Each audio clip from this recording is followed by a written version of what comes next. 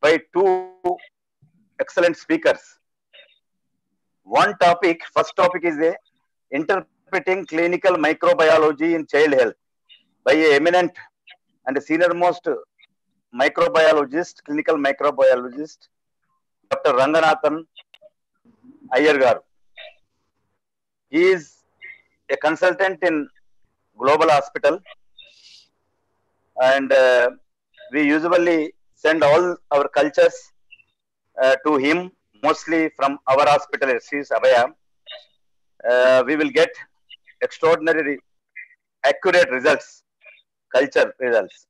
And uh, microbial identification is very important and uh, antimicrobial sensitivity is also important to treat the neonates and children. It is a very important topic. Today he is going to enlighten us on clinical micro microbiology. And second topic is our EB member, Dr. Chitra. She is Associate Professor of Gandhi, COVID warrior. She is going to talk on overview of connective tissue disorders in children. It is also important topic because early diagnosis can give a quality of life and also prevent all the complications. And uh, thank you, Dr. Ranganathan Iyer, and thank you, Dr. Suchitra, for accepting our invitation to come and present your uh, topics. And today's moderator is Dr. Kavali Satyanarayana, Senior Consultant Pediatrician, Rainbow Hospital.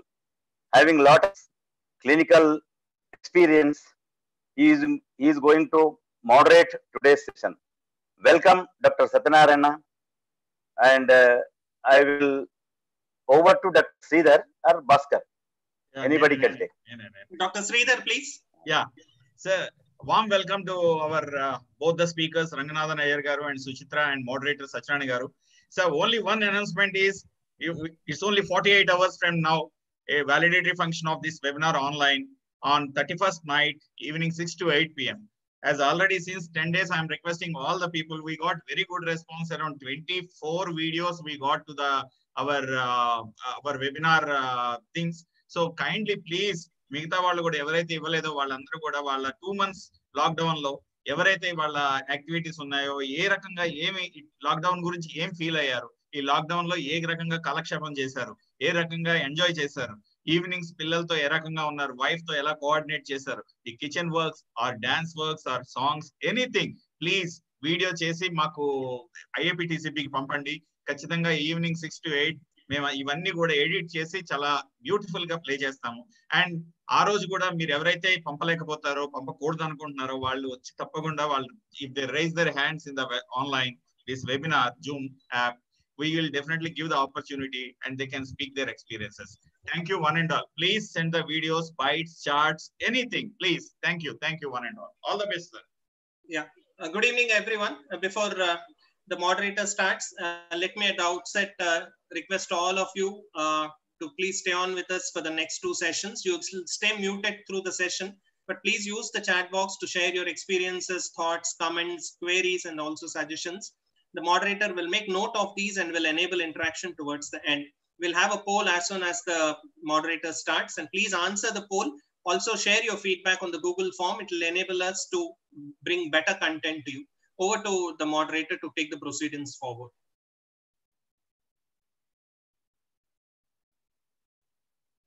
particularly the IAP TCB team, Dr. C.N. Reddy sir, Dr. Bhaskar sir, and uh. Sridhar also, and the team. So far, uh, everybody love all. Plethora of webinars are going on every day since morning to evening, but the topics are very good. And today we have very good topics, two topics. One is microbiology. Both the speakers were introduced. And uh, first topic is microbiology, usage of microbiology in child health. So, sir, I welcome Dr. Angana sir, Yeah, to start, sir. uh, we Over will to start with. Dr. Suchitra's.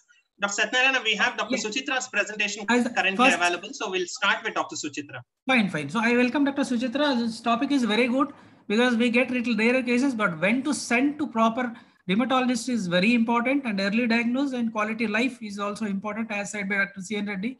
So I welcome Dr. Suchitra to present the connective tissue disorders. Over to Suchitra. Suchitra.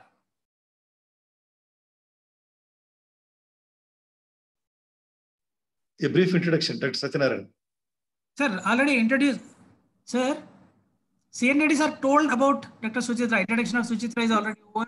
She's working as associate professor in Gandhi Hospital. Everybody knows that and member That is enough, sir.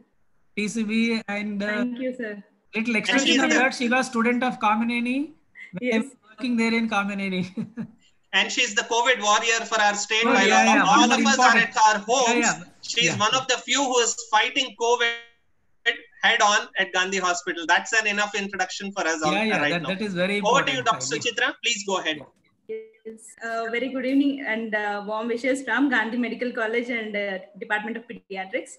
I thank uh, President Sir and uh, Secretary Sir, also Treasurer Sir and all IAP members who have uh, literally helped us out in this hard situation of COVID, wherein IAPTCB came forward uh, to sponsor two airborne missions to Gandhi that was really of uh, worth at the time of, at the, that was a need of the hour at which we were looking for even before government could extend the hand, we got it from you, sir. Thank you very much. So coming out from COVID, now uh, we'll move on to the topic for today. Actually, the should I take the po- poll question or we'll leave it here, sir? No, at the end of the talk. No, no, Oh, okay. At the Yes. outset, we have a No, question, question at the end of the talk. Okay, sir. Poll. Proceed. No, no, the poll question was coming up, so I was just thinking about it. Okay. question. Yeah, so yeah, now going on to the overview of connective tissue diseases. This was Suchitra. a topic that was allotted to me by Dr. Sir. uh, Sir, you- am I audible? Yeah, you have to take up that poll quiz at the outset, and after at the end of the program. Okay, sir. Uh, so uh, about the tasks given, this is another task that was given to me was overview of connective tissue diseases in children. So uh, uh, academic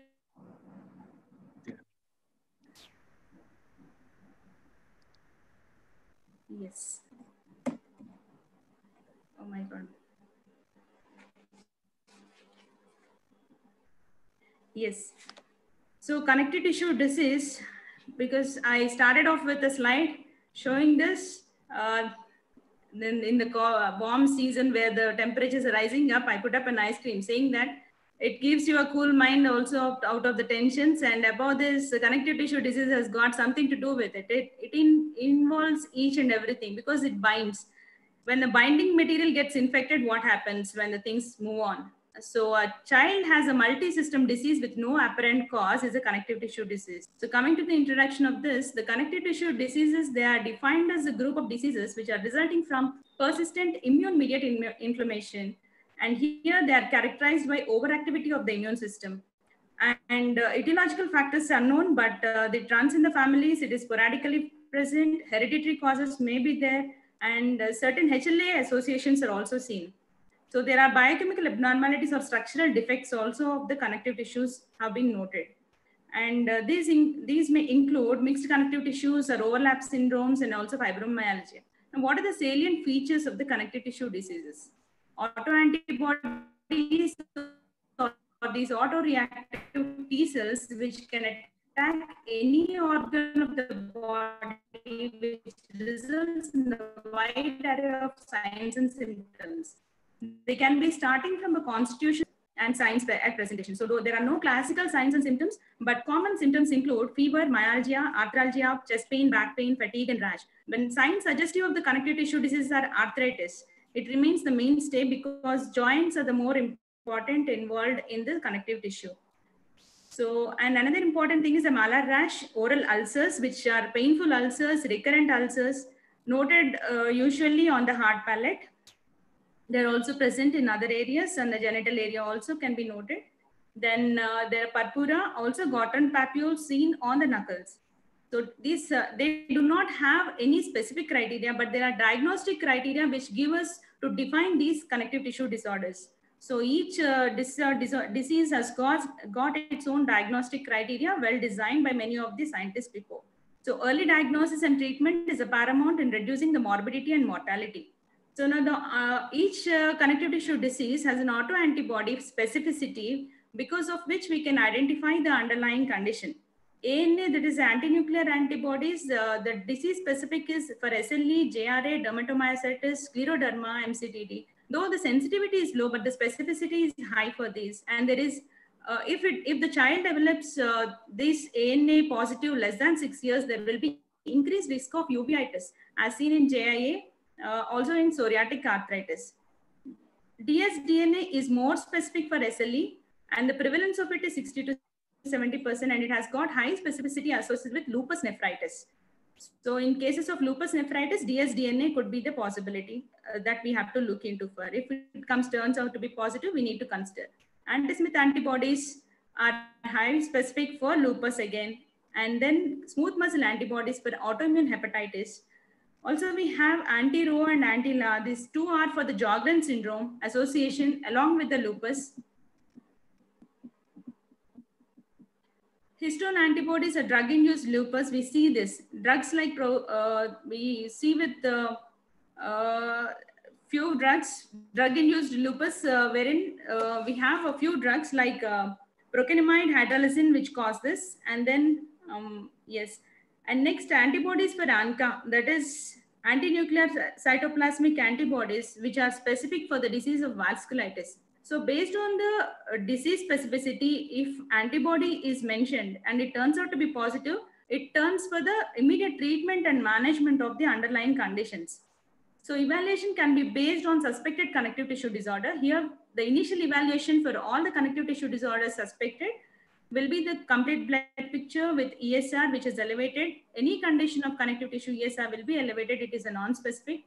ANA is again specific for, uh, for mainly SLE and uh, ALT, the enzymes will be elevated, liver enzymes elevated, the CPK muscle, wherever the muscle tissue is involved, CPK also is elevated, creatinine, and because of the immune complexes, the creatinine also will be altered and hypocomplementemia will be noted.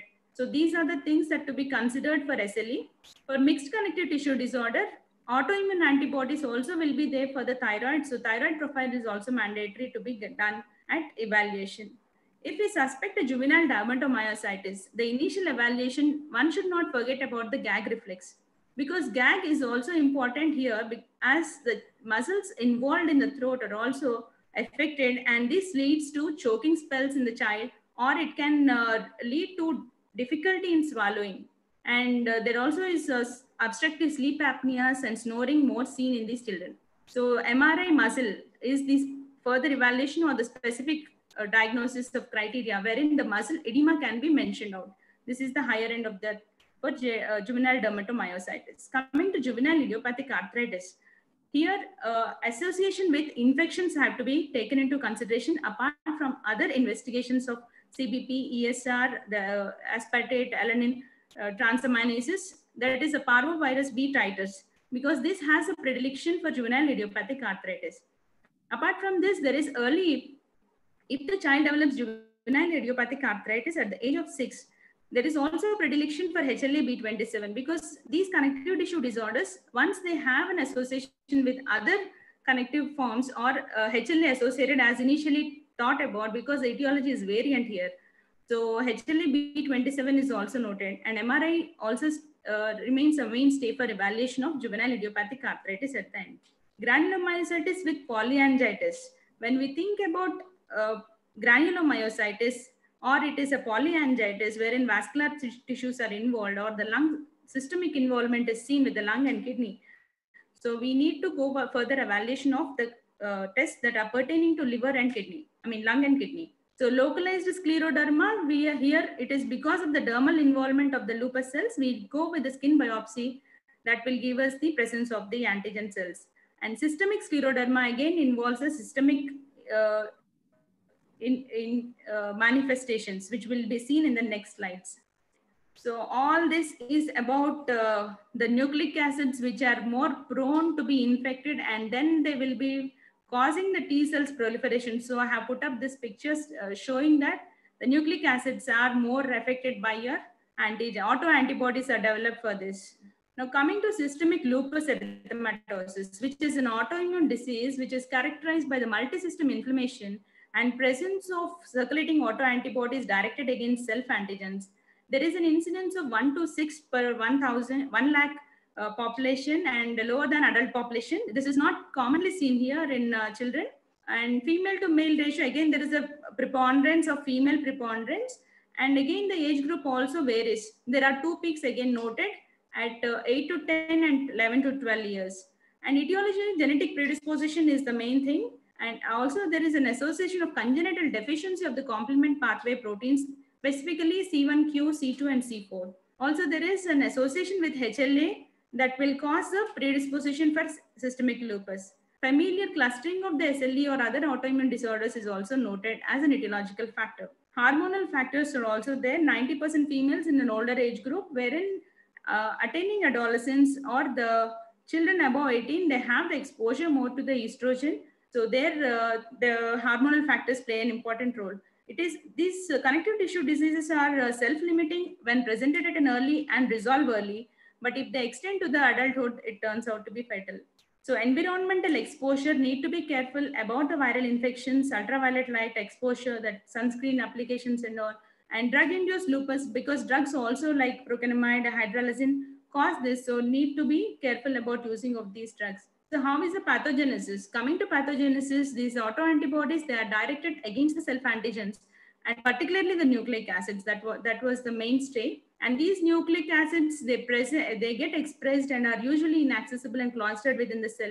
At the apoptosis of the cell, these are released and further antigens are entering into the bloodstream. And the T cell, there are two types of T cells, regulatory cells as well as the other cell.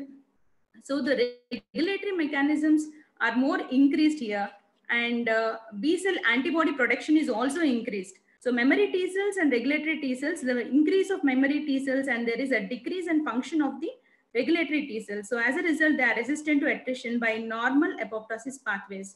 And these uh, deposits are seen along with complement deposit, complement the use up of the complements and forming the immune complexes and deposited in various tissues of the body, which present.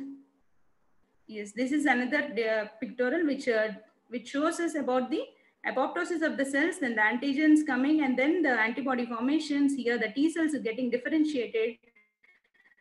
And the T cells which will uh, form the immune complexes, the regulatory T cells function is decreased and immune complexes are formed and they are seen in the vasculopathy or kidney damage commonly and resulting into the multi-organ involvement. So systemic lupus erythematosus, first thing to prevail is photosensitivity. So the rash that is developed, the skin has the cells, dermoepidermal region wherein your systemic, uh, the lupus cells have been existing.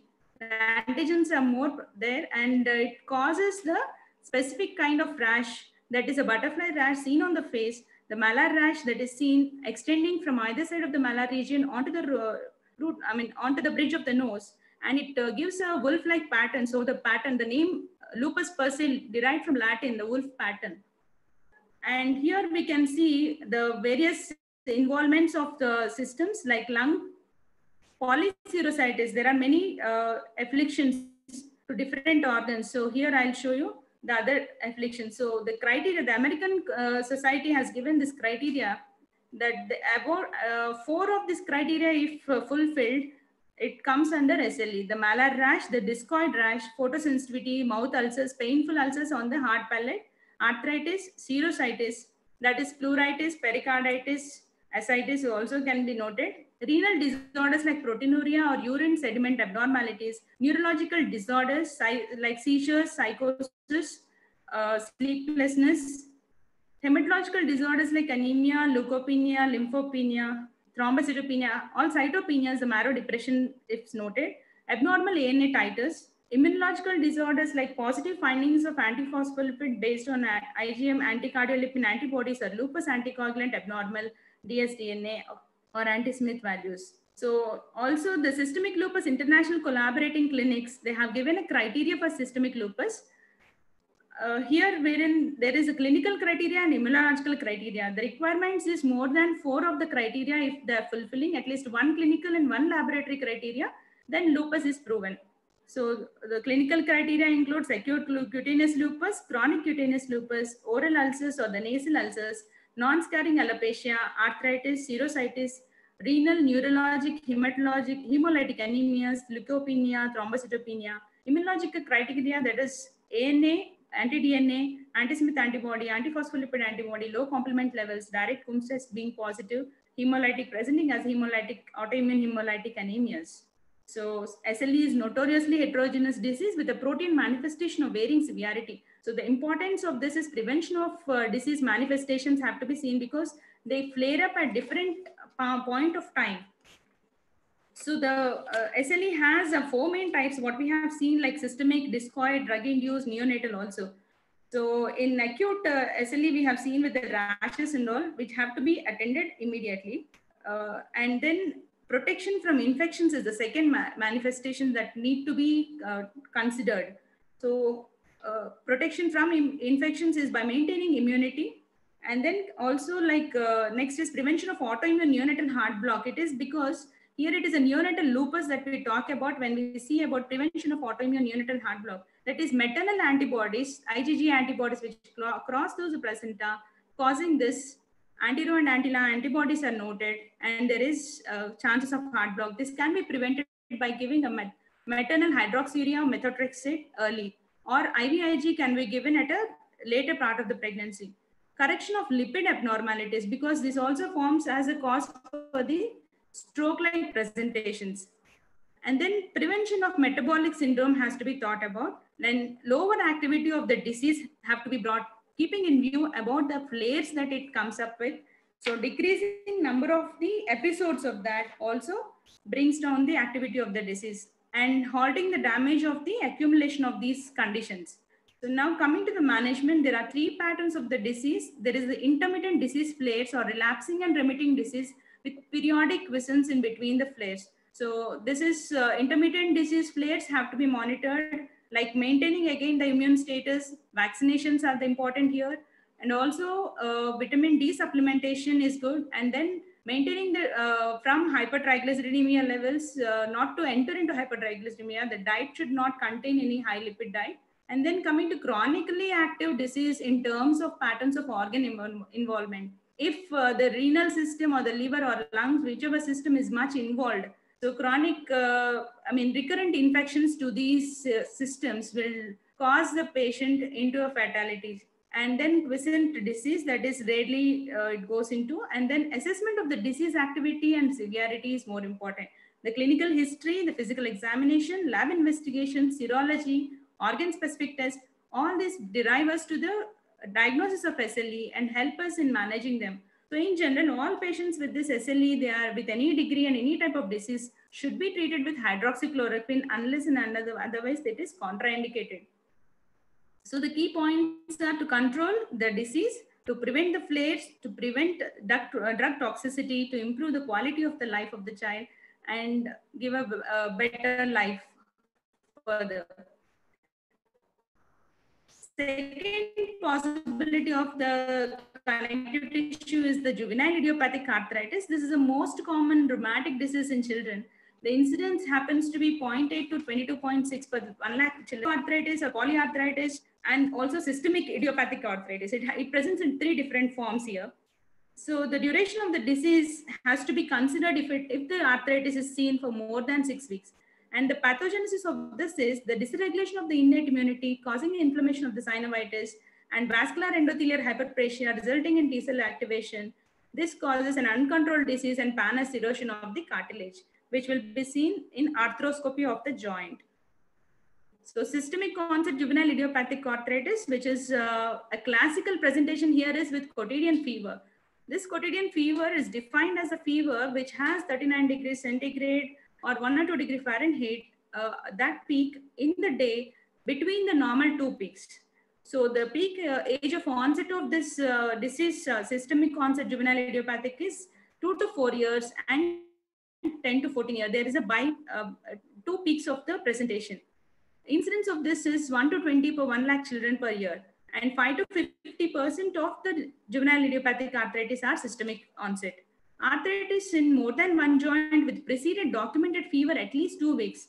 That quotidian type of fever for at least three days, accompanied by more than one of the following, will give us a diagnosis of psoriasis or systemic onset juvenile idiopathic arthritis. That is evanescent erythematous rash, or uh, that's a light pink color rash that evolves on the dorsum, on the torso, as well as on the uh, limbs, I mean, exposed surfaces, generalized lymphadenopathy, hepatosplenomegaly, and serositis.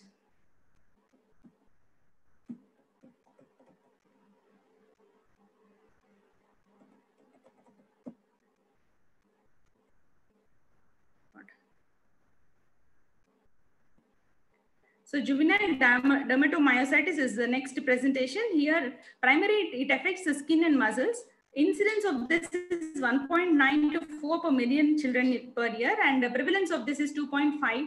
Uh, here we can see the presence, in the picture we can see the presence of the papules that are seen, Gottron papules on the knuckles and it is a classical feature of this juvenile dermatomyositis. The muscle weakness mainly affects the shoulder, pelvic, proximal muscle involvement is there more and children with this can have vasculitic ulcers on extensor surfaces and gastrointestinal valve. Then we have the rarely children presenting with inflammatory myositis without any skin involvement. Usually there is a skin involvement, but uh, there are very few conditions wherein there is no skin involvement and only my, without the skin involvement, we can we can see the juvenile dermatom uh, that is a polymyositis can be seen without dermal involvement. Now, what is the diagnostic criteria? The diagnostic criteria here is there is a symmetrical progressive proximal muscle weakness and the muscle biopsy will show the necrosis, phagocytosis, regeneration with basophilia and large vesicular sacroilial nuclei, prominent nucleoli. Atrophy will be seen in the perivascular distribution in the muscle layers and variation in the fiber size. Inflammatory exudates are noted, often perivascular, perivascular regions. Now, elevation of the muscle enzymes like creatine phosphokinase, CPK level and elevated aldolase, uh, AST, lactate, LDH, that is lactate dehydrogenase. So electromyogram will be showing us the, uh, the presence of this, the polyphasic motor units, fibrillations, and uh, insertional irritabilities. And these are high frequency repetitive discharges are seen in electromyogram, which will give us a diagnosis about juvenile dermatomyositis. What are the dermatological features here? That is a lilac discoloration of the eyelids, that is heliotrope rash that we see in the periorbital region, and the characteristic rash, I mean, uh, presentation of erythematous dermatitis seen on the knuckles is a Gottron sign. And involvement of the knees, elbows, and medial malleoli, face, neck, and also upper torso is noted. Next is the scleroderma. The most characteristic feature of scleroderma is thickening of the skin with increased collagen deposition. So this deposition can be localized. It is localized scleroderma or morphea. The skin sclerosis, uh, usually no vascular or internal organ is involved here. It, is, it can present as a plaque morphea or a generalized morphea or as bullous morphea, linear scleroderma or deep morphea, wherein only the dermal epidermal layers are involved, not the organ involvement. Whereas juvenile systemic sclerosis, along with the skin involvement, we also have the internal organ involvement. So the major criteria and minor criteria, at least two of them are required to diagnose it as juvenile systemic sclerosis. Here the cutaneous sclerodactyly and peripheral vascular, you find the Raynaud's phenomenon. The nail folds are important for the capillary abnormalities. The digital tip ulcers are noted. Gastrointestinal, we see dysphagias, gastroesophageal reflux. In cardiac, we find heart failure, arrhythmias. Renal, there is a renal crisis. Uh, re, I mean, a new onset of arterial hypertension can be noted. Respiratory, we see pulmonary fibrosis, which is a CT or a radiographic diagnosis. And uh, pulmonary arterial hypertension, the neurological findings will be neuropathy, carpal tunnel syndrome commonly seen. And then musculoskeletal, we have tendon friction rubs, arthritis, myositis. And the serological investigations are anti-nuclear antibodies, selective autoantibodies, anti-centromere, anti, anti-topoisomerase, that is SCL70, anti-fibrillarin, anti-PM-SCL, anti-fibrillin, or anti-RNA polymerase. These are the specific serological tests for uh, diagnosing the juvenile systemic sclerosis. So what is a Raynaud's phenomenon? When to think about it? Raynaud's phenomenon has to be confirmed based on the exposure to three. One is either occupational and environmental factors. Second one is drugs. And third one is there is a neuropathy or a carpal tunnel syndrome. When these three are present, then the history of either involvement of a single digit or asymmetric attacks or absent peripheral pulses, or there is an asymmetry of the blood pressure, evidence of any uh, critical ischemia, the patient should undergo the Doppler ultrasound and angiography. And to note, and if these are present, then it is the presence of obstructive vascular disease, and there is atherosclerosis or thromboangiitis obliterans, embolic disease, thoracic outlet syndrome. But along with this, if the symptoms or signs of systemic disease like myalgia, arthralgia, fever, weakness, weight loss, rash, arthritis, uh, sicca syndrome, symptoms of heart or lung disease are present associated, then we need to investigate further with the complete blood picture, chemical analysis or urine analysis, RFT and LFTs, and then anti-nuclear antibody, rheumatoid factor, and then comes the specific autoantibodies to the disease and C3, C4 complement levels, which will be hypocomplementemia noted. So these patients are positive for rheumatic disease, and we have to suspect about scleroderma, systemic lupus, mixed connective tissue disorder, dermatomyositis, polymyositis, Sjogren's syndrome, vasculitis, antiphospholipid syndrome, and undifferentiated CTD, which is also known as a mixed connective tissue disorder. So patient without this, if we notice, if we have to think other autoimmune involvement of the uh, thyroid functions, so we have to think about the points that is um, polyneuropathy, organomegaly, endocrinopathy, monoclonal gammopathy, and the skin changes. That is apart from the connective tissue that we get.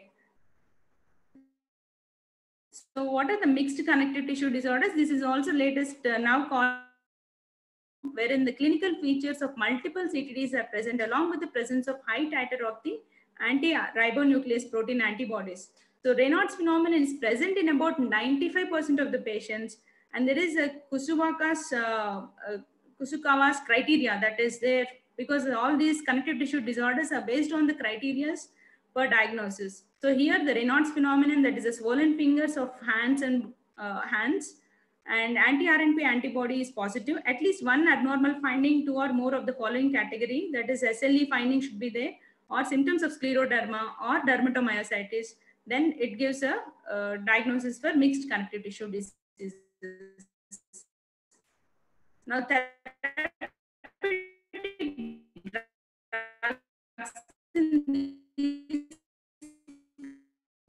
drugs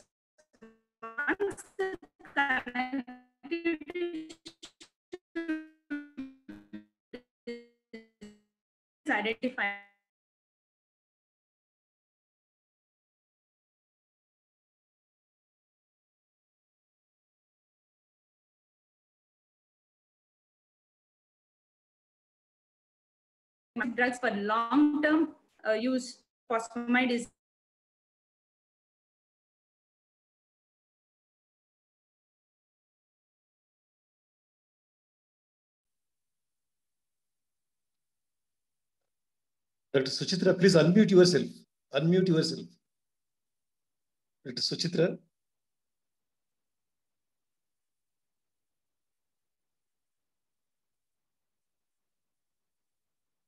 Dr. Suchitra, unmute yourself.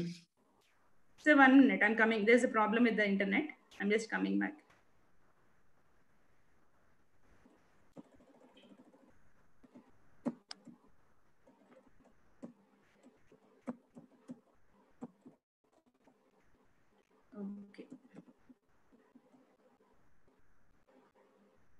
One minute, sir, I'm coming.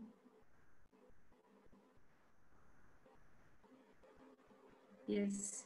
Now moving on to the case scenarios. Am I audible, sir? Yes.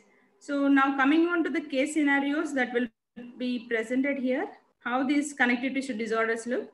Here is a seven-year-old female child presented with fever of 10 days duration with facial puffiness and oral ulcers since three Please days. share slides, and madam. the child- Please share slides.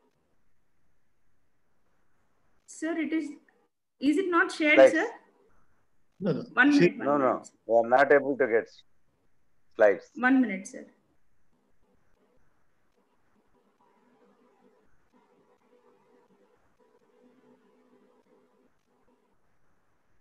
I'm able to see, maybe here it is not able to visualize. One minute, sir. Sri Krishna sir is available there, sir. Hello, Sri Krishna sir, are you available? Yes madam చెప్పండి sir నా slides కనపడట్లేదట okay yeah yeah because you're not sharing your screen మీరు ఏం Oh. చేస్తారంటే come Okay. Back to the Zoom and again click on share screen Okay. You can minimise the presentation Okay. Uh, come back to zoom uh, page press on share screen and then you can Uh, it's showing as a Zoom, Zoom uh, join a meeting again. uh, లేదండి ఇంకోటి ఉంటుంది దాని పక్కనే ఇంకోటి ఉంటుంది you just have to press all tab so join a meeting దాని పక్కనే ఇంకొకటి ఉంటుంది జూమ్ వెబినార్ అని ఉంటుంది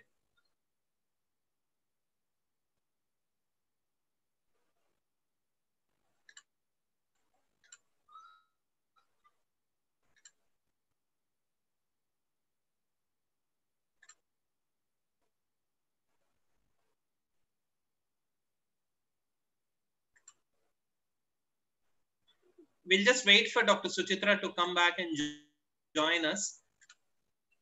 Uh, Dr. Ranganathan, uh, uh, are you able to now share your screen? Do you have your presentation available?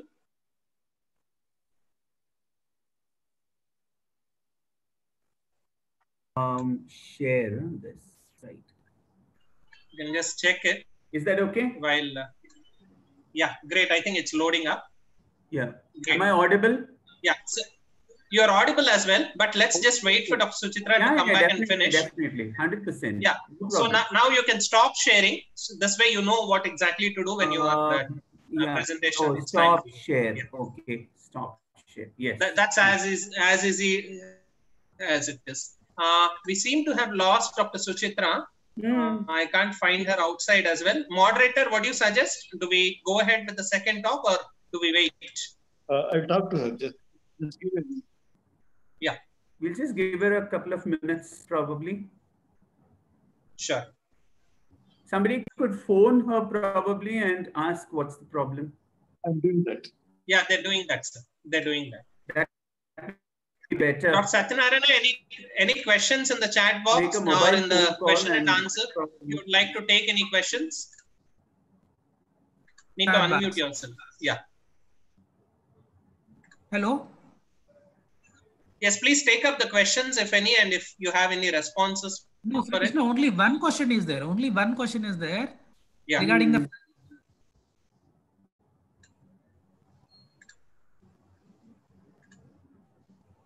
No, I think we'll go ahead with Ranganathan Iyer sir's class, na? Sri Krishna. So she's trying to share the screen. Yeah. She's trying to share the screen. That's what I feel. Just now a message came in. Yeah, I've promoted her as panelist. Dr. Suchitra, I think you should be able to share your screen now.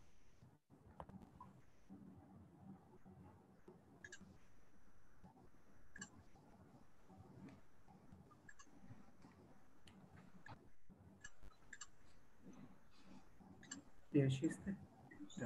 Yeah. Dr. Suchitra, could you respond, please? Yes, yes, sir. I'm coming. Great. I think I, I think yeah, we are able to share your screen. Forget about the webcam. You can directly go to the presentation and start. Yes, yes. I'm going with the presentation. So coming with, are you, are the other slides there, sir?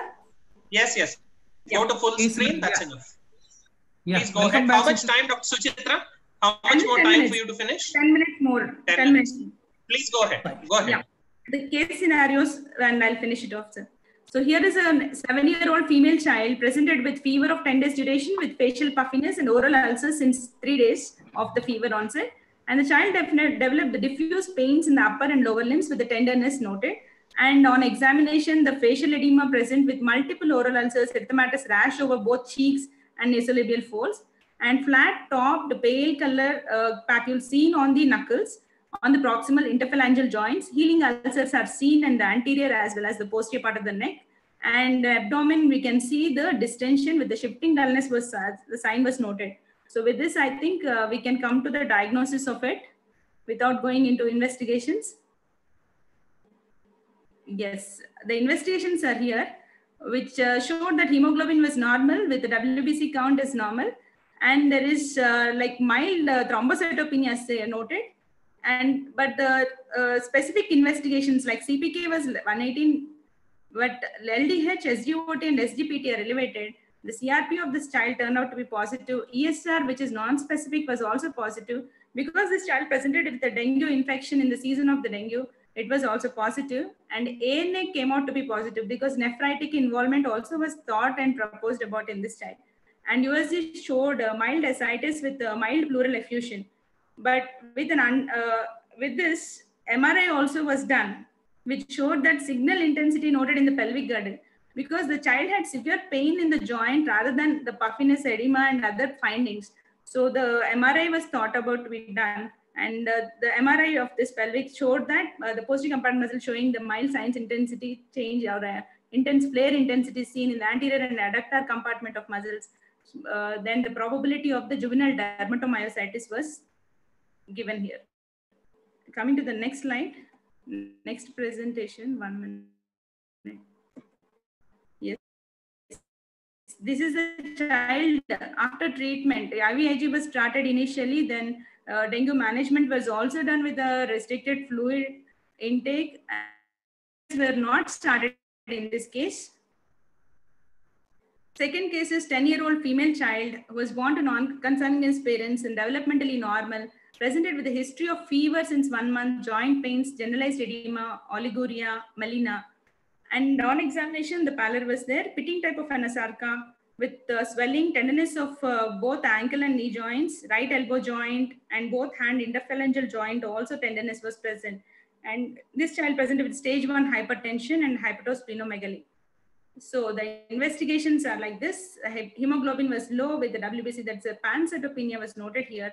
Initially with the lymphadenopathy, pancytopenia, hepatosplenomegaly thought to be a malignancy, uh, but acute onset. So again, we have to investigate and it was showing the presence of these, the urinary proteins because of the anasarca, the urinary proteins which are there as high and 24 hour urine protein is more than 500 milligrams. And ultrasound was showing both the ascites and bilateral minimal pleural effusion. ANA antibodies was positive anti-DS anti, uh, level anti-DS DNA was also positive complement hypo, elevated hypofibrinogenemia and serum triglycerides also elevated more than 150 is considered positive.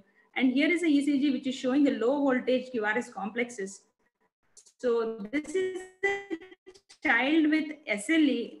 Of course, I did not give the complete presentation. If it goes on, it takes longer time. So I have cut short to say that this is a systemic concept juvenile idiopathic arthritis with macrophage activating system because the fibrinogen levels, because the child presented with all the findings of uh, idiopathic arthritis along with that the systemic involvement and macrophage activating system also was there with hyperfibrinogenemia, hypotriglyceridemia because there is a criteria which shows about this any of the four of the criteria fulfilling because five of them are fulfilled here we have considered it as SOJIA with MAS.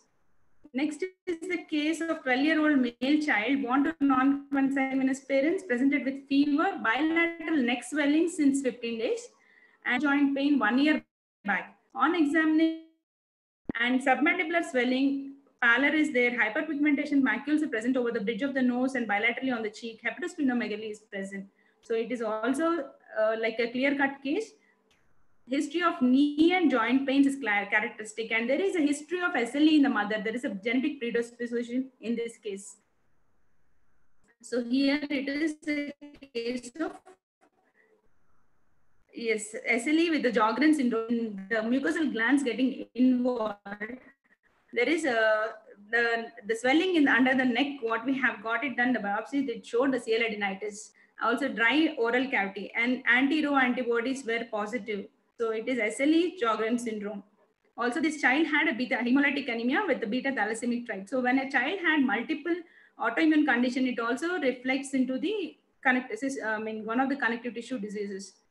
So 11 year old female child presented with fever, vomiting, jaundice, and uh, since 14 days, there is a shortness of breath also noted. And here on examination, pallor was there, icterus, splenomegaly, and history of two, two blood transfusions were noted.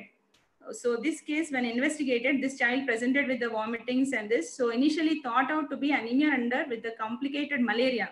So uh, baseline investigations were sent, uh, which were uh, showing the investigations of severe anemia. So I, the blood child was transfused for this, but uh, during transfusion, we could make out the direct Coombs test was positive and cold antibodies. So autoimmune hemolytic anemias was suspected here. So methylprednisolone was started for this child and investigated further, wherein anti-DS DNA came out to be positive and anti-Smith antibodies also was positive with hypocomplementemia. And here the infection focus was both viral infections, that is EB virus and mycoplasma antibodies positive. So this is a case of autoimmune hemolytic anemia with SLE. So this is the last but one case here, uh, a 10 year old female child born of non-consanguineous marriage with a papular rash over the limb since six months, fever since 15 days, and blackish discoloration of the fingers seen 10 days and joint pain since one week. So reddish brown papular rash present, digital gangrene of the fingers and toes seen, and there is no organomegaly. This is the type of the clinical rash, and also we can see the digits having the blackish discoloration at the tip of the fingers. Also the rash, we can see raised papules with the central hypopigmentation. So complete hemogram of this uh, child showed there is a mild anemia. Uh, apart from this, it's a normocytic normochromic picture, but there is a prominent, because of the vascular involvement, the uh, there was Doppler done, Doppler study was also normal. 2D echo was not showing much different, much evidence, but there was a mild MR and TR. But prominent coronary arteries, that is upper limit of the normal measurement was noted there. But the serum, when investigated for the connective tissue disorders, the triglycerides were high, ANA antibody was positive, anti-Smith antibody was positive, and it is a SLE vasculitis was diagnosed. This is the last case. 12-year-old female child born to non-consanguineous parents with chief complaints of fever, vomiting, loose stool, pain abdomen, yellowish discoloration of eyes and urine since three days, and decreased urine output was noted. On examination, there was pallor icterus, tender hepatomegaly, and the liver span was around 9.6 the respiratory findings were uh, like uh, the air, I mean, the child presented with distress and there is a decreased inframammary expansion as well as percussion note was dull. Auscultation also the air entry was decreased. So this child was investigated because there is a polyserositis again thought to be the SLE possibility or a connective tissue possibility. And here it turned out like uh, minimal effusion, consolidation uh, with minimal pleural effusion with consolidation was noted in the chest and grade one renal parenchymal disease. So multi-system involvement and uh, the underlying condition is associated with a viral infection. I mean, with a leptospiral infection, spirochetal infection. And then uh, the LKM antibody was uh, not positive, which we thought to be, but dsDNA was turned out to be positive. So this is a predisposition of an infection to SLE. So SLE with pneumonia is another case presentation. So always it is a multi-personal uh, approach to this. Uh, apart from a pediatrician, rheumatologist, renal, renal, I mean nephrologist, all this, all the specialities to come forward. Also for the disabilities, the orthopedic as well as the physiotherapist also need to be working together. So this is the lighthouse. What I put up at last. This is because we need to visualize them at the early and help in the treatment. So the prognosis happens to be good. Thank you very much, sir.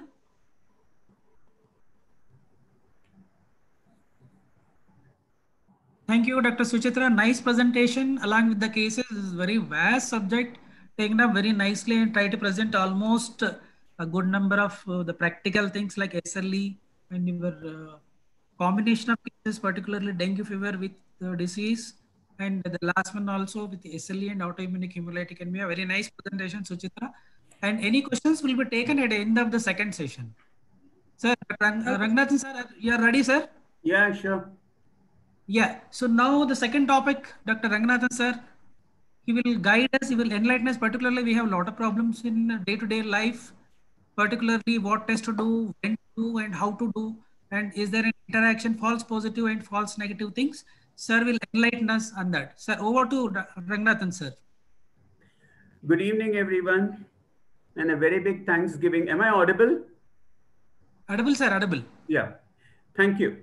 Uh, a big thanksgiving to all the executive members of the IAPTCB uh, for having thought it appropriate, first of all, having this very important topic included in your webinar series and for having thought it appropriate uh, inviting me to talk on this huge, vast topic. The topic is rather huge. It's, it's wide. And therefore, I've tried to put in whatever possible in about 25 minutes or so, wherein I would try and touch on basic points which come into play while trying to interpret clinical microbiology tests, be it cultures, be it smears, be it serology or molecular tests in child health and pediatrics. Now, these are the various modalities that are available for the diagnosis. Namely, one could do smears, one could also have cultures of various clinical specimens that emanate from infection sites. Once we grow an organism, obviously there is an antimicrobial susceptibility testing along with identification of an organism. And we try and speed up things, and that's what is called as a rapid antimicrobial susceptibility testing. Once a culture is negative, that's when the problems start because you aren't able to grow a bug. You see it on smears many a times, but you aren't able to grow it. Sometimes you don't see them on smear as well. And, and of course, you don't grow them. So obviously, one needs to make a diagnosis of a, a possible infection in these cases. And that's when we resort to a non-culture method for a diagnosis. And that's when we try and do either serology or molecular assays. We resort to molecular assays many a times, leaving out serology. But then let me tell you, serology, particularly when we try and look for antigens of possible pathogens, or we try and do an indirect diagnosis wherein we try and look for IgM or IgG antibodies um, and, and, do, and make a serological indirect diagnosis of an infectious condition in children. All this forms part of what is called as a diagnostic cycle. If you look at this, there is a pre-analytical phase that follows and uh, that leads to an analytical phase.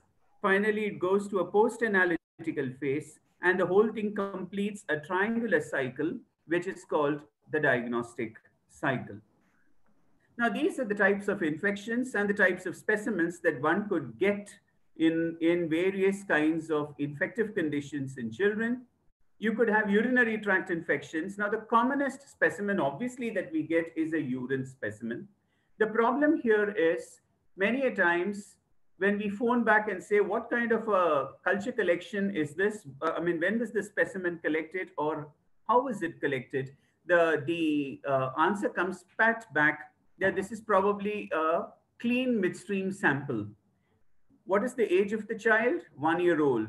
Now, how can you have a one year old child giving you a clean midstream sample unless or, or, or without any contamination of the same specimen? How can we have a clean midstream sample from a six months old child or a five months old infant in, uh, um, and of course, and also be able to diagnose urinary tract infections? Those are the times when many other methodologies like in and out catheter, a bag sample, or sometimes even a pad sample, or a suprapubic bladder aspirate, which is supposed to be the gold standard specimen for making a diagnosis of a urinary tract infection. There are various other um, specimens. As you see, this is the upper respiratory tract infections, wherein we go do a throat swab or to or as is done these days to diagnose COVID infections, we do a nasopharyngeal aspirate or a nasopharyngeal swab.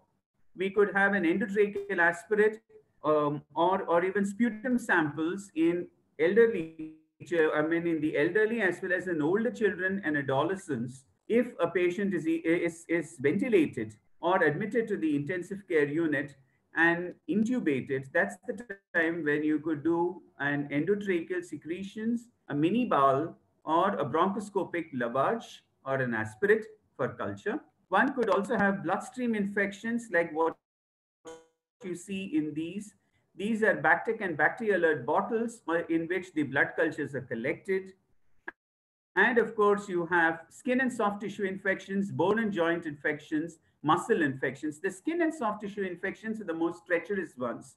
That's because you go and do a wound swab culture or a pus swab culture. And many a times what is collected is not from the depths of the wound, the central portion of the wound.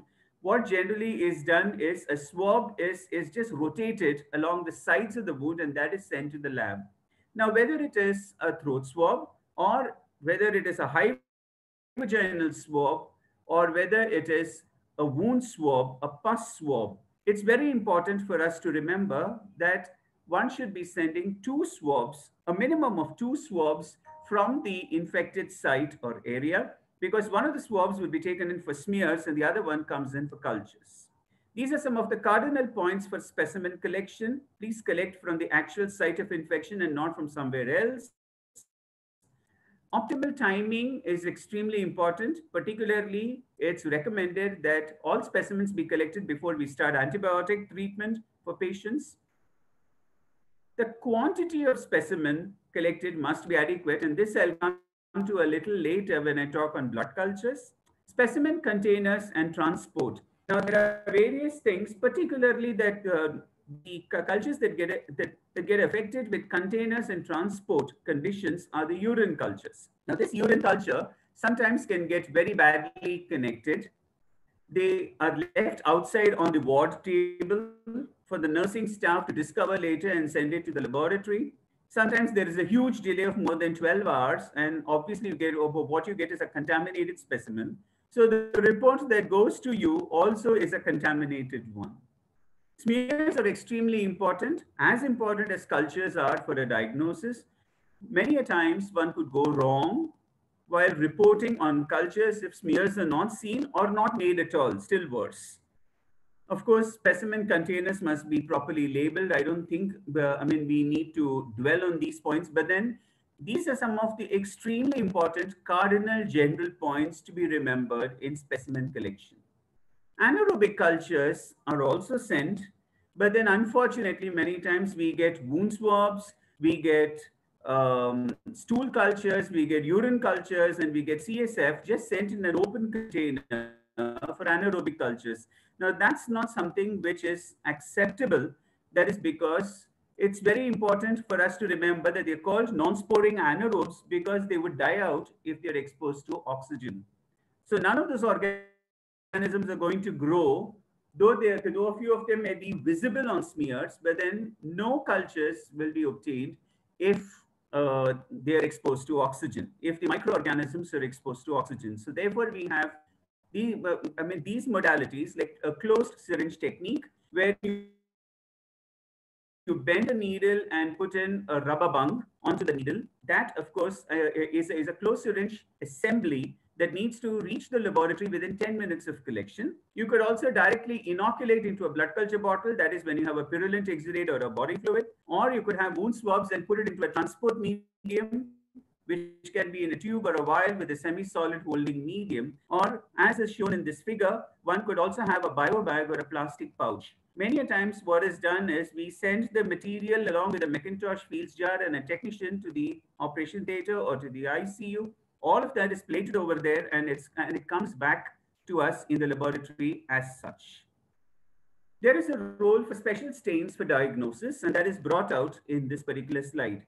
Now, do you see first top two, right? Look at the gram stain, and both of them are from sputum samples. But then it's it, it gives you such a different picture in these two types of infections. The first one is, is from a patient with a copious amount of purulent exudate that's called sputum, with plenty of polymorphs and intracellular gram-positive cocci in pairs. And that was a pneumococcal pneumonia. The other one is from a child with, I mean, with a COPD, a chronic obstructive airway disease, or an allergic bronchitis. And you see this huge plug of mucus that, that is brought out on a grams. And this is what clearly differentiates what kind of an infective condition that these two uh, children may be suffering from. The other one is a Ziehl-Neelsen stain, which brings out acid-fast bacilli. You have Gomori's methenamine silver, which brings out, um, uh, I mean, along with the toluidine blue, the cysts of pneumocystis carinii or pneumocystis jirovecii pneumonia. That's a leading cause of interstitial pneumonitis, particularly in immunocompromised patients. You also have a gene stain that brings out the trophozoite forms of pneumocystis, pneumonia, particularly mean silver. The same Gomori's methenamine silver is also used to beautifully demonstrate fungal hyphae in clinical specimens and an immunofluorescent stain, which is used many a times to demonstrate various viruses, fungi, bacteria, and almost anything else. It's used even in autoimmune disorders like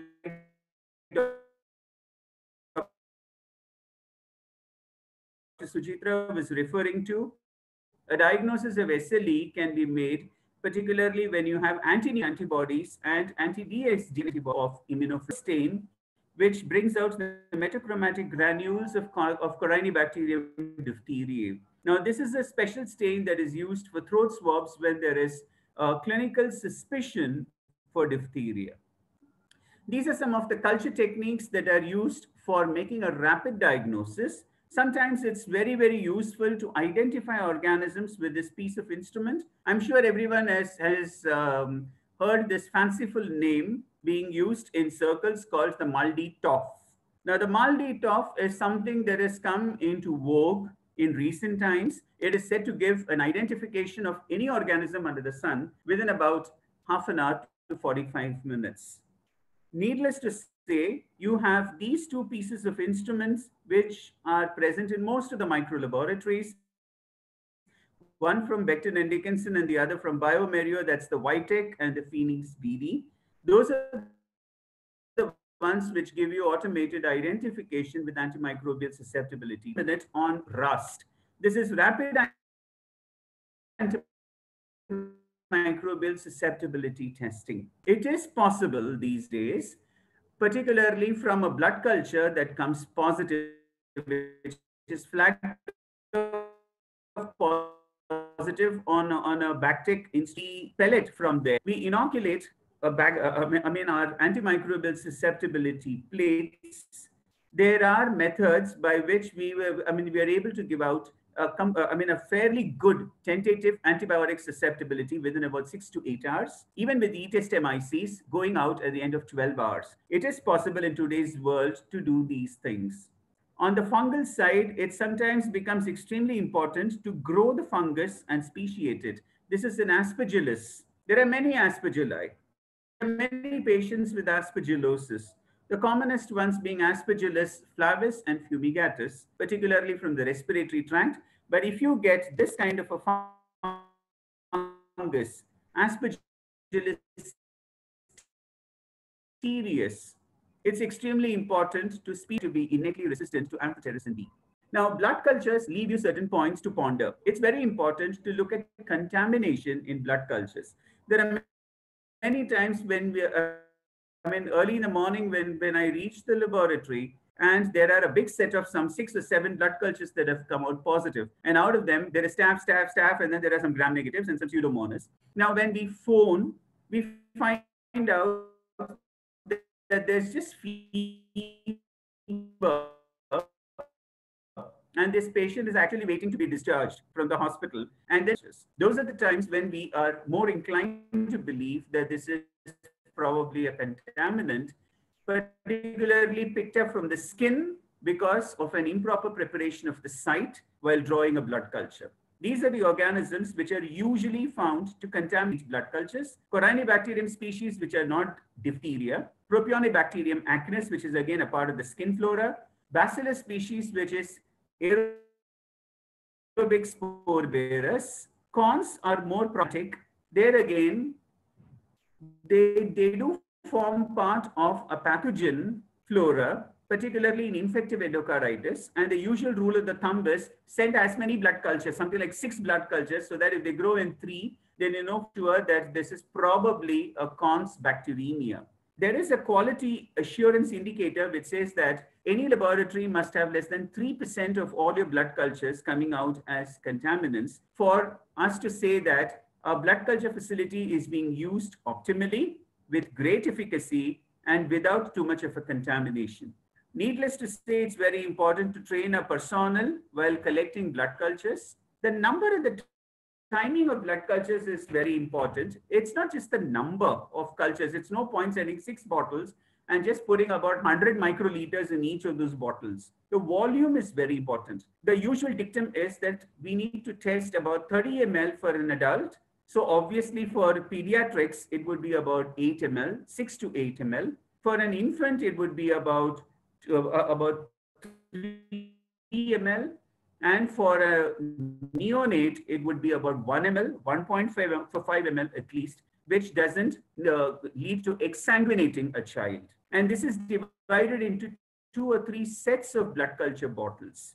but what we commonly find, this is what is required, but what we find is, a, is one single blood culture. And that one single blood culture is practically useless because many times it's inadequate. So therefore there is a huge danger and a risk of missing bloodstream infections. A solitary blood culture, if sent, may not really be sent because most of the times it will be negative or sterile. So maybe it's not, it wasn't clinically indicated.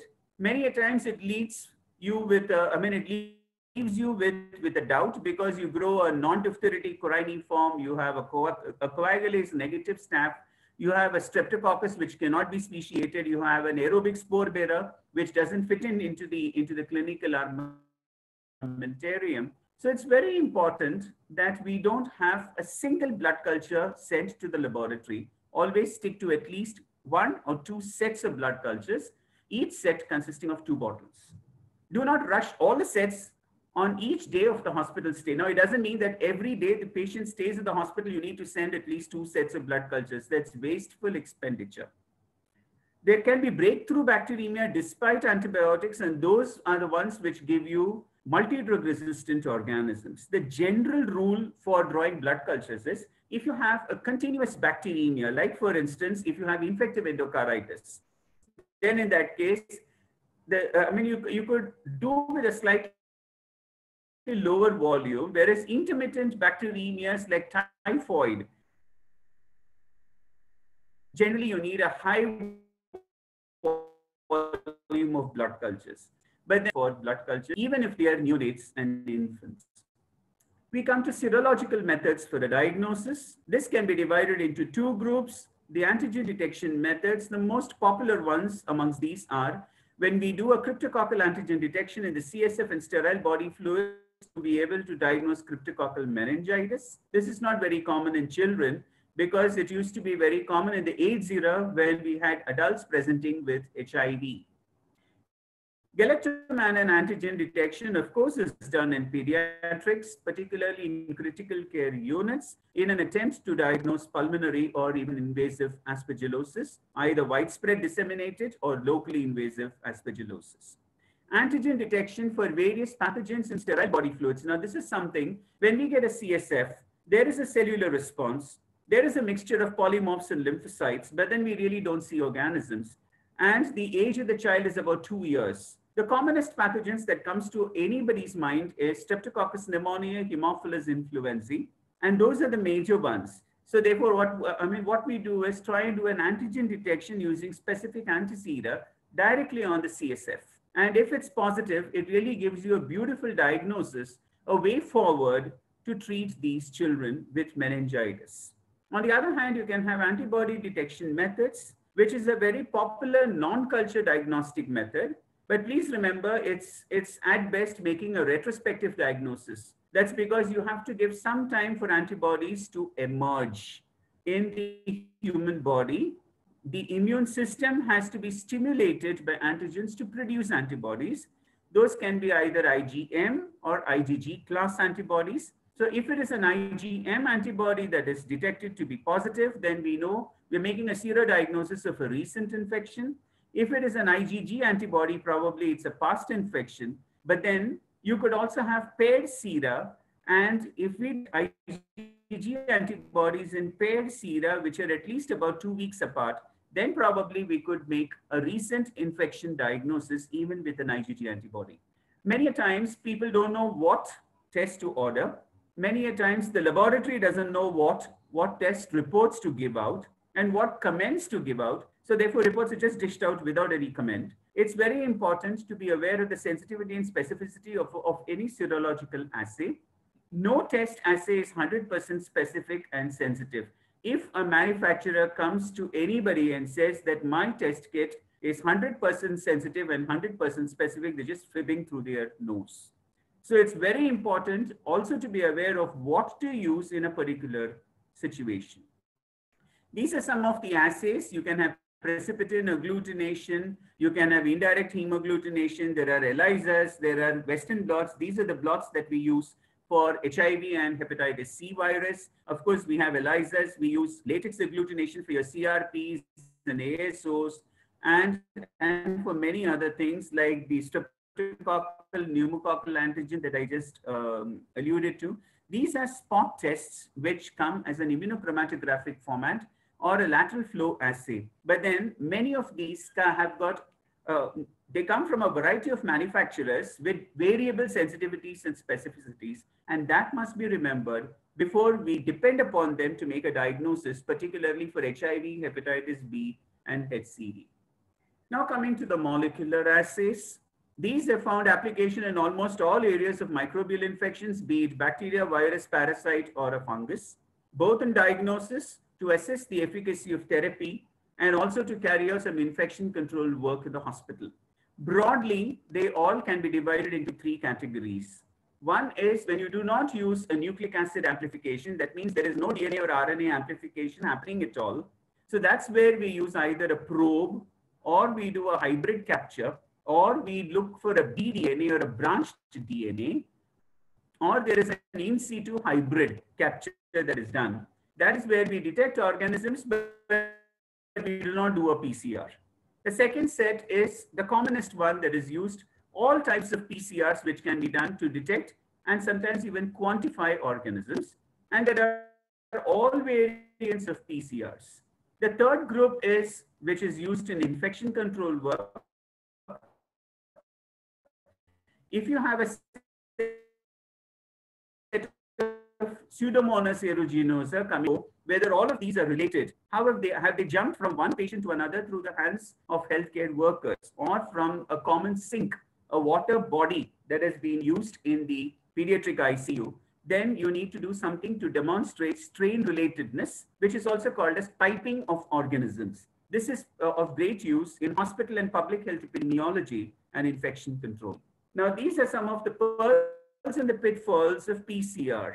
PCR basically uses the essential chemistry of DNA, which is to replicate. So therefore, the aim of any PCR uh, methodology is to amplify one particular part or a portion, which is the area of interest in that DNA, and then make a diagnosis or give you a therapy-related infection uh, information.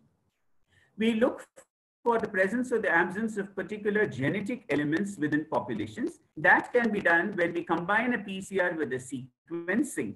And all of these, again, just as serology has got a variable sensitivity specificity, the same way molecular methods also have variable sensitivities and specificities.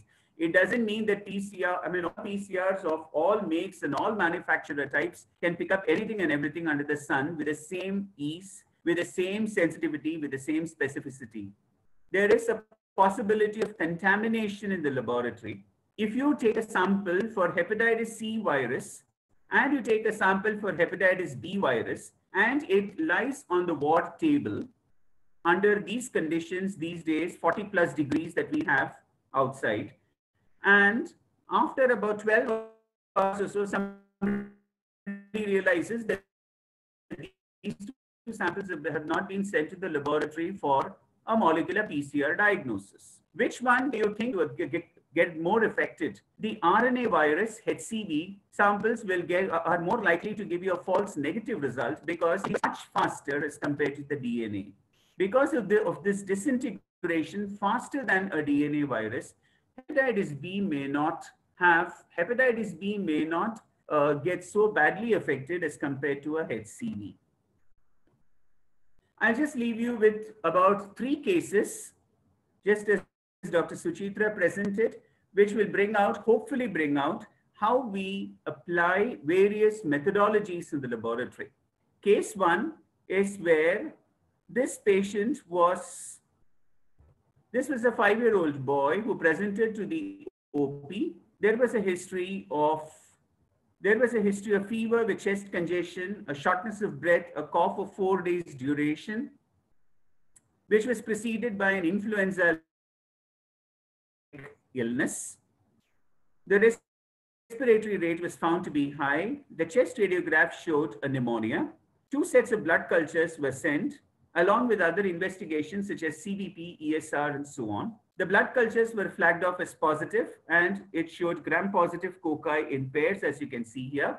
It grew a pneumococcus. Do you see this beautiful carom board-like mucoid alpha hemolytic colonies? go back to your Ananthanarayan days in microbiology of MBBS, and I'm sure we all will recollect that pneumococcus looks like this. The antibiotic sensitivity for penicillin showed that the MIC was 2 micrograms per ml. Ceftriaxone was about 0.094. Now this, since it was a blood culture and a bloodstream infection, the child was treated for about five days with ceftriaxone IV and then discharged from the hospital on oral amoxicillin. Sure enough, this child became febrile with a stiff neck, became increasingly irritable, and had to be admitted back as an emergency. They had to do a lumbar puncture. The CSF showed high proteins and comparably low sugars as compared to the blood sugar. The cell counts were about 250 cells per cubic millimeter. The gram stain showed a mixture of polys plus lymphocytes, but no organisms or yeasts could be seen. So as I had said that when we see a cellular response but don't demonstrate organisms on smear, then in that case, what we do is just try to directly try and do an antigen detection in the CSF. And sure enough, the pneumococcal antigen was positive, which means probably it was the same isolate which was there in the blood and, uh, and that has come on to the CSF causing a meningitis. The cultures grew an organism, but after a delay of almost 72 hours, and that too from liquid backup cultures. Now, what has happened is the penicillin MICs for the CSF isolate remained at two. The ceftriaxone MIC initially, if you if you saw the previous slide, it was 0.094. Now it's come up to 0.25. That's because ceftriaxone was used for about a good five days.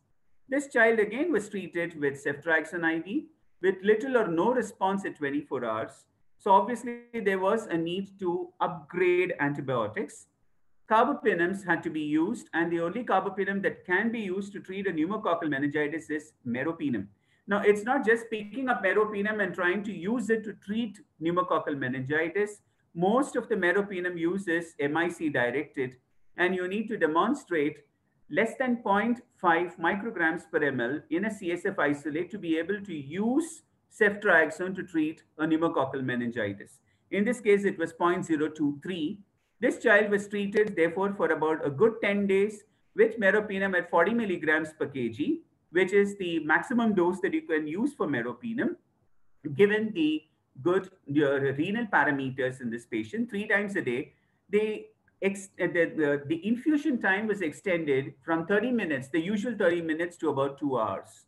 That is because there is a pharmacodynamic property of meropenem, which belongs to the beta-lactam class of antibiotics, of time more than the MIC.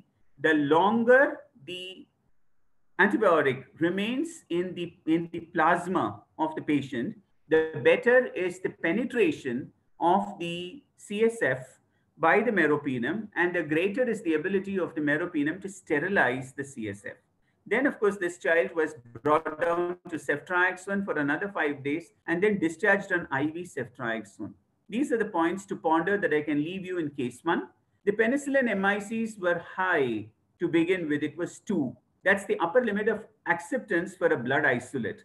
So it's very important, not just growing organisms and putting up an antibiotic sensitivity, there is a role for minimum inhibitory concentrations or MICs as we call it. And they are not just some figures, 2, 1, 0.5, 0.25. There is a meaning to everything because it's a range which can be used to treat infections. Ceftriaxone was stopped too soon. Probably that's why this child relapsed with a meningitis. The CSF then showed a cellular response without organisms. So probably there was a role for non-culture methods because the cultures anyway were delayed and that would have been too late to treat a pneumococcal meningitis. The ceftriaxone MIC in the CSF isolate was 0.25, which had risen from the previous value. Probably that's why there was little or no response to ceftriaxone, and hence meropenem as a carbapenem had to be used to treat meningitis. The use of the meropenem MIC was crucial here to be demonstrated at 0.023 at less than 0.25. Case two was another, now this is another case where we try and demonstrate the role of molecular diagnosis. This was a six year, six months child, again with a high grade fever, a cold, a coryza of three days duration, a headache, five to six episodes of non-bilious vomiting before admission. On admission, they demonstrated a, um, that the child was febrile at 100 degrees, a heart rate of 113, a blood pressure of 108 by 70. Bilateral air entry was within normal limits. The CNS showed a mild stiff neck. No other signs could be elicited. There was no Kernig's or a Brudzinski's kind which could be uh, elicited with any appropriateness. But the child appeared irritated with fever and cold as narrated by the parents. The WBCs remained at 5,500. It didn't touch the skyrocketing 20,000 that we expect with meningitis in a six-year-old child. The platelet count was 3.9 lakhs. The CRP was 35. Any other investigations? Blood cultures and urine cultures were sent and they were all sterile. So therefore a CSF was done under aseptic conditions. It revealed near normal limits of proteins, sugars, and chlorides. No cells in, on clinical pathology. There was no growth of the CSF and the gram smears did not, were, were unproductive. So therefore, a biofilm or a film array, a biofire or a film array technology was used in this case. And it sparked off enterovirus. Enterovirus is one of the commonest things that we get in, in this kind of patients where you have a meningitis-like picture, but you don't demonstrate anything, you don't grow anything. It's very useful to resort to one of the molecular methods. You could also do a real-time PCR, a multiplex PCR, and look for various viruses, fungi, and various bacterial pathogens. The presentation and the age of the patient is extremely important as a clue. Molecular diagnosis does help with the biofire or any type of film array technology, as this is a simultaneous attempt at detecting multiple viruses from a CSF. It's useful when smears and cultures are unrepresentative, particularly when the clinical history and findings are suggestive. This is a third case to show you the same film array can confuse you, can leave you confused, and you will not know what to take and what to leave. This was a nine months female infant with a fever of three days duration. And the physician just said, do a respiratory panel on the film array to make a diagnosis for me. So we did a film array. Do you see all the ticks on the left-hand side? It says Acinetobacter baumannii calcoaceticus detected. Staphylococcus aureus detected. Streptococcus pneumoniae detected. And then if you scroll down, you'll find human metapneumovirus detected. Now, if you get a report something like this with hardly any clinical history available, it is very difficult to make any kind of interpretation from a molecular assay. The organisms were reported all of these. So how, how does one interpret the findings of this film array panel? This was a nine months girl infant. We go back to the history. And that is why we phone you and bug you quite a lot, Dr. Satyanarayana particularly. Uh, I mean, when we keep asking for reports, reports, reports, when we keep saying, uh, I mean, when I keep saying, what does this child uh, suffer from? How did this child present? Fever of three days duration, chills and rigor, rash on the body, vomiting with poor intake of food, cough and coryza of a week's duration, reduced feeding and a noisy breathing. The, all this typically represents a viral respiratory illness. This was a term baby delivered by LSCS. The mother had a prolonged labor with a PPROM of more than six hours and the birth weight was 2.75 kgs. All milestones have been attained with adequate immunization. And these were the clinical features which were given to us on phone. There were blanchable rashes on the trunk and the extremities. There was a mild wheeze with bilateral equal air entry. The, uh, otherwise, the, the rest of the clinical examination was rather unproductive. So if, if we take a look at this, along with these WBC counts of 12,000, uh, hemoglobin of 13.4 and so on, now if we go back to that film array, it's very important. This is the report that comes from the laboratory. The correlation of film array findings with clinical and radiological investigations reveals the nine months infant to be suffering from an active human metapneumovirus infection, possibly a pneumonia, with a superadded secondary bacterial bronchitis caused by Streptococcus pneumoniae. Why the Streptococcus pneumoniae? Because the colony count was marked as more than 10 to the power of 7, if you noticed on that film panel. The airways have been colonized with Staph aureus and Acinetobacter calcoaceticus complex, but no antibiotic therapy directed towards colonizer, colonizers of the lower respiratory tract is recommended. Now, if you take a look at this lower respiratory panel, compare it with this panel which you found before, there is a big sea of difference between the two.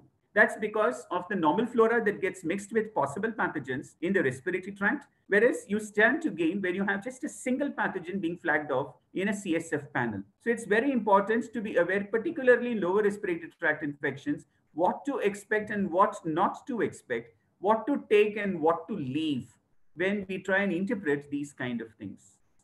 Molecular assays can therefore yield confusing results if you don't interpret them in the light of a well-taken clinical history, a proper clinical examination findings, and support it with basic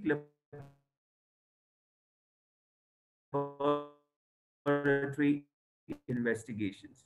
And for this, there must be a dialogue. And that's why we bring you and asking you for clinical history and examination findings. That's because we wish to make a proper interpretation of the tests that have been ordered for in order to help better, uh, better management of patient care. I leave you with these take-home messages. Use your microbiology facility in a proper manner that goes a long way in managing infections, both in the community and in the hospital. There must be a clear understanding of what can and must be done during specimen collection because that's going to impact the final culture result. It's very important for pediatric physicians to understand pearls and pitfalls of tests and assays. Talk to your microbiologists everywhere, and they will be able to tell you sensitivities and specificities that vary within these assays. It's not just a few specimens that come in, a few dabbas that come in, and a few uh, pieces of paper that go out as reports. But then it's very important to know what is the content of this report and how it's going to help you better manage your patient. Remember, you also need to take into account certain things like PKPD, pharmacokinetics and pharmacodynamics of the antimicrobial agents that are used, such as meropenem, as I told you, wherein we use a dose which will be broad. At the same time, we also extend the infusion time to a little more than 30 minutes, go over to two hours. That's because we want to have time more than the MIC, that's the pharmacodynamic parameter. We also have something called as post-antibiotic effect. How much of the antibiotic remains after you have withdrawn the infusion? And for how long does that effect remain? For beta-lactams, it's just two hours. So unless you uh, you, prolong the infusion, you will not get the benefit of meropenem remaining uh, there in the serum, crossing the CSF barrier and treating a meningitis. The role of non-culture methods with respect to their appropriate use in clinical situations is important. Avoid overuse and inappropriate use because they can very well lead to erroneous diagnosis and mismanage patient care. Thank you so much, ladies and gentlemen, for your kind indulgence.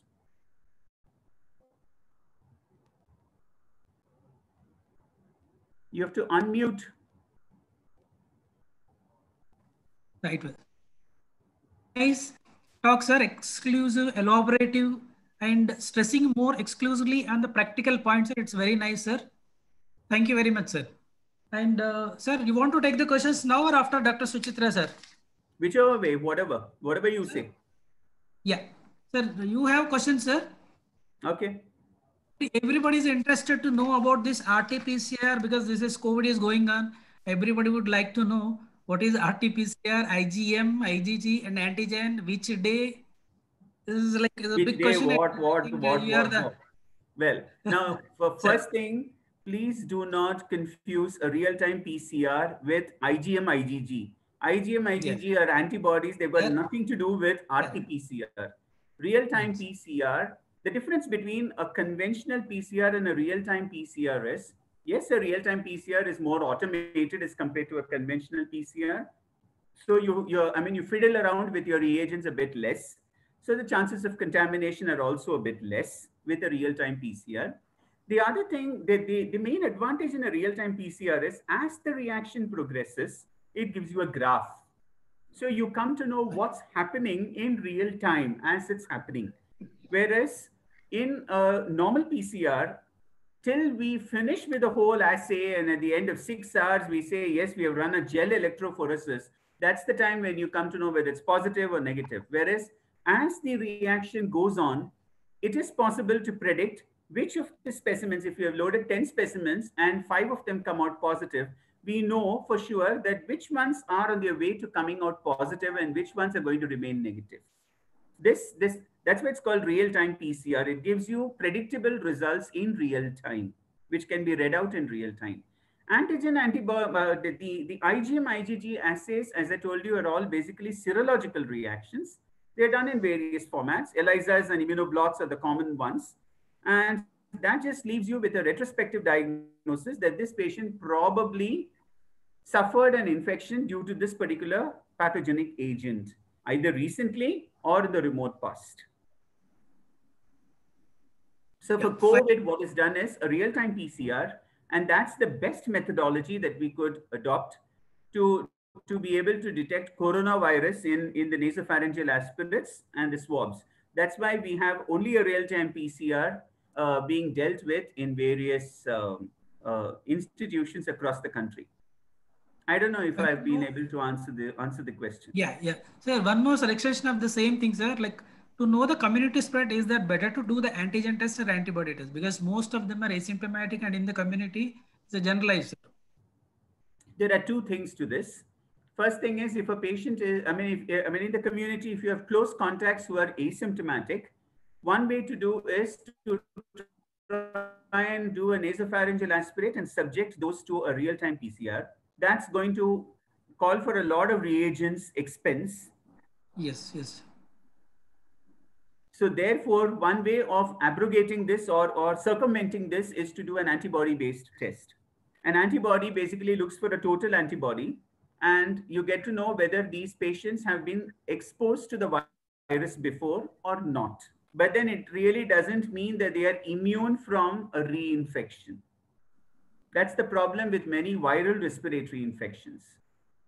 Whereas for hepatitis B, when we say anti-HBs antibodies are more than 10 or more than 100, we consider them immune to hepatitis B surface antigen reinfection. Whereas in, in uh, viral respiratory illnesses, or even for, for uh, I mean, for that matter, even with some, some of the other, other viral infections like yellow fever, dengue, you know for sure that even if a patient has an IgG antibody, they can still get reinfected with another strain of the dengue virus. And this IgG antibody, which is already there, it doesn't protect you. It can cause an antibody mediated immune enhancement and cause a very serious disease. That those are the ones which can come down with dengue shock syndrome or dengue hemorrhagic fever. The same thing holds good here with, with viral respiratory illnesses. We really don't know whether they are truly protective antibodies or whether they could also participate in antibody mediated immune enhancement. Fine. Yeah. Thank you. Sir, second question to you, sir, from Dr. Usharani. Like, what is the cost of CSF viral load test, the panel of CSF viral test, and how many days we can store in the refrigerator? Okay. Um, is she talking about the, the, the FilmArray technology that I had projected? Fine. Yes, the, sir, yes. Uh, company gives it to you Yes. at something like 10,500 or 11,000. Exactly, exactly, sir. CSF, So you put in all your overheads and everything, and the final cost to the patient comes to about 14,000. It's prohibitively expensive. How long we can store in the refrigerator, sir? What's the assays? Sample, CSF the- sample. I have done LP and I want to store it.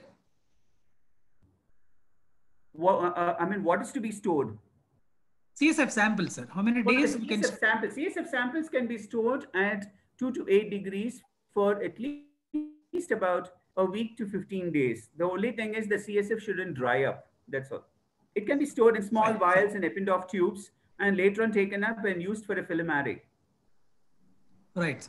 And uh, one more question, sir. It's very common, even for me after 20 years of practice. Diagnosing enteric fever is a very big problem, sir. Like the regular practitioners, what they do is Widal in the first week, that will be positive. And some they do it as typhoid IgM. And one question from the panel, I mean, uh, one of the participant about the IgM, because it is also false positive. And blood culture is percentage of positive blood culture in enteric is also little less, maybe around 50, 50, 60. So how do you take this, sir? Which one you ask us to do? Well, enteric fever suffers from a lot of problems. The first thing is presenting the, the um, patients and parents come in a bit late. That's the first thing. Many of these parents bring in their children after about a week of fever or about three, four days of the fever. And the counts are not so high. and um, really you don't get a clue as to whether it's hepatitis or whether it's enteric fever or something else. So in such a situation, if there is a fever which does not respond to antipyretics, please send at least two sets of blood cultures. The problem with clinical departments, I'm sorry to say, I'm talking to all pediatricians, but then the, the problem in many, in most of these cases is a single blood culture, as I said, one solitary blood culture, and that after giving ciprofloxacin to a patient or after dousing them with ceftriaxone, I just gave one dose of ceftriaxone. But then that one dose of ceftriaxone is good enough to stun all your salmonella, and they will not be grown on a blood culture, on that single blood culture that you send. It's very important to have, to have two sets of blood cultures, each set consisting of two Peds Plus pediatric blood culture bottles, I mean. So it, it should at least be a total of four. Try and sample as much as possible so that, they, I mean, you're giving a chance for organisms to grow. Right. So what about the periphery, practicing pediatricians, sir? Because they don't have the facility of this luxury of sending blood culture. So I do take about Widal versus typhoid IgM. Well, the answers are almost the same, whether you do a Widal or whether you do a typhoid IgM. And those typhoid IgMs are, uh, are never ELISAs. They are all those funny looking strips that come to Yes. you. And Yes. uh, half of the times you get either false negatives or you get false positives with these strips. I would rather do a Widal, but then not in the first week of fever. Try, I mean, if, if, if I mean, if a child is, has been brought in after the first week of fever, it's more productive to do a Widal because there are better chances of demonstrating a positive antibody, a TO antibody of 1 in 60, or of 1 in 160 or 320 or 640 and so on. But then at any stage, it is still useful to do a blood culture because you, I mean, the, the minute you are able to grow a salmonella, it is definite indication of an enteric fever. Sir, one question, sir, from the participant. Is there any possibility of using less than 8 ml of blood for the blood culture? With any of the recent... I recent... said uh, six to eight. I said six to eight. Dr. Six to Satyanarayana, what I normally get is less than 0.5. exactly. All of you all are guilty of this. All of you all without an exception. Yeah, many times we got even scoldings from Each you and Every clinician gives, why do we have to give? You're exsanguinating the child. I mean, you're exsanguinating the Yes, child, yes, but then yes. you're not making a diagnosis. You give one blood culture and yes. 200 microliters in that. What is the big idea in, in doing a blood culture like that? So it's much better not to, uh, to, to, to do. That's why I said, don't do that solitary blood culture. Just leave it out of your armament, armamentarium. You're wasting a Yeah. blood culture bottle, essentially. Fine. Sir, And one more thing, sir, yes. like uh, once IgM, 2 ml, Uh, 2 ml in a child should be fine. One we are, we are comfortable. 1 ml in this 2 ml, we are very, That much. yes, yes, sir. One more uh, practical point, sir, like once this IgM is positive, whether it is IgM typhoid or IgM leptospirosis or any of the IgMs positive, Okay. how long exist in the blood, sir? Maybe a month or three weeks? Yes. Wait For from, any of the infections, be it leptospirosis, dengue, or whatever, IgM uh, rises fast. That's the earlier antibody to come up. It goes up like a spike, but then it comes down. The IgG Yes. antibody takes some time to come up. It comes after the IgM. If the IgM say starts rising by the sixth or the eighth day of the illness, and you're able to demonstrate it for a month or a month and a half later, the IgG antibody takes at least 15, 20 days to start rising. But then it, it uh, I mean, it is a very consistent antibody. So that's why you find the graph plateauing like this. It remains there in our blood. And that's one of the reasons why you have, you know, pregnant women being tested to see if, if they've suffered from rubella, varicella zoster, if they have had measles, and, and you, uh, I mean, that removes the suspicion of that. You always do a rubella IgG, a varicella zoster IgG. You always do a measles IgG and so on. That's because yes. the IgG antibody, even if you have been exposed in your teens, it will still remain in your blood. The IgM does not. Fine. Sir, one more question, sir. This is hospital based. How do you differentiate this CRBSI, sir, bloodstream infection versus culture positive sepsis? Is that one more blood culture required from the site of IV site or You mean One blood is- bloodstream infection, uh, central line-related Yes, bloodstream, yes. CRBSI? Okay, hospital acquired versus real sepsis, sir.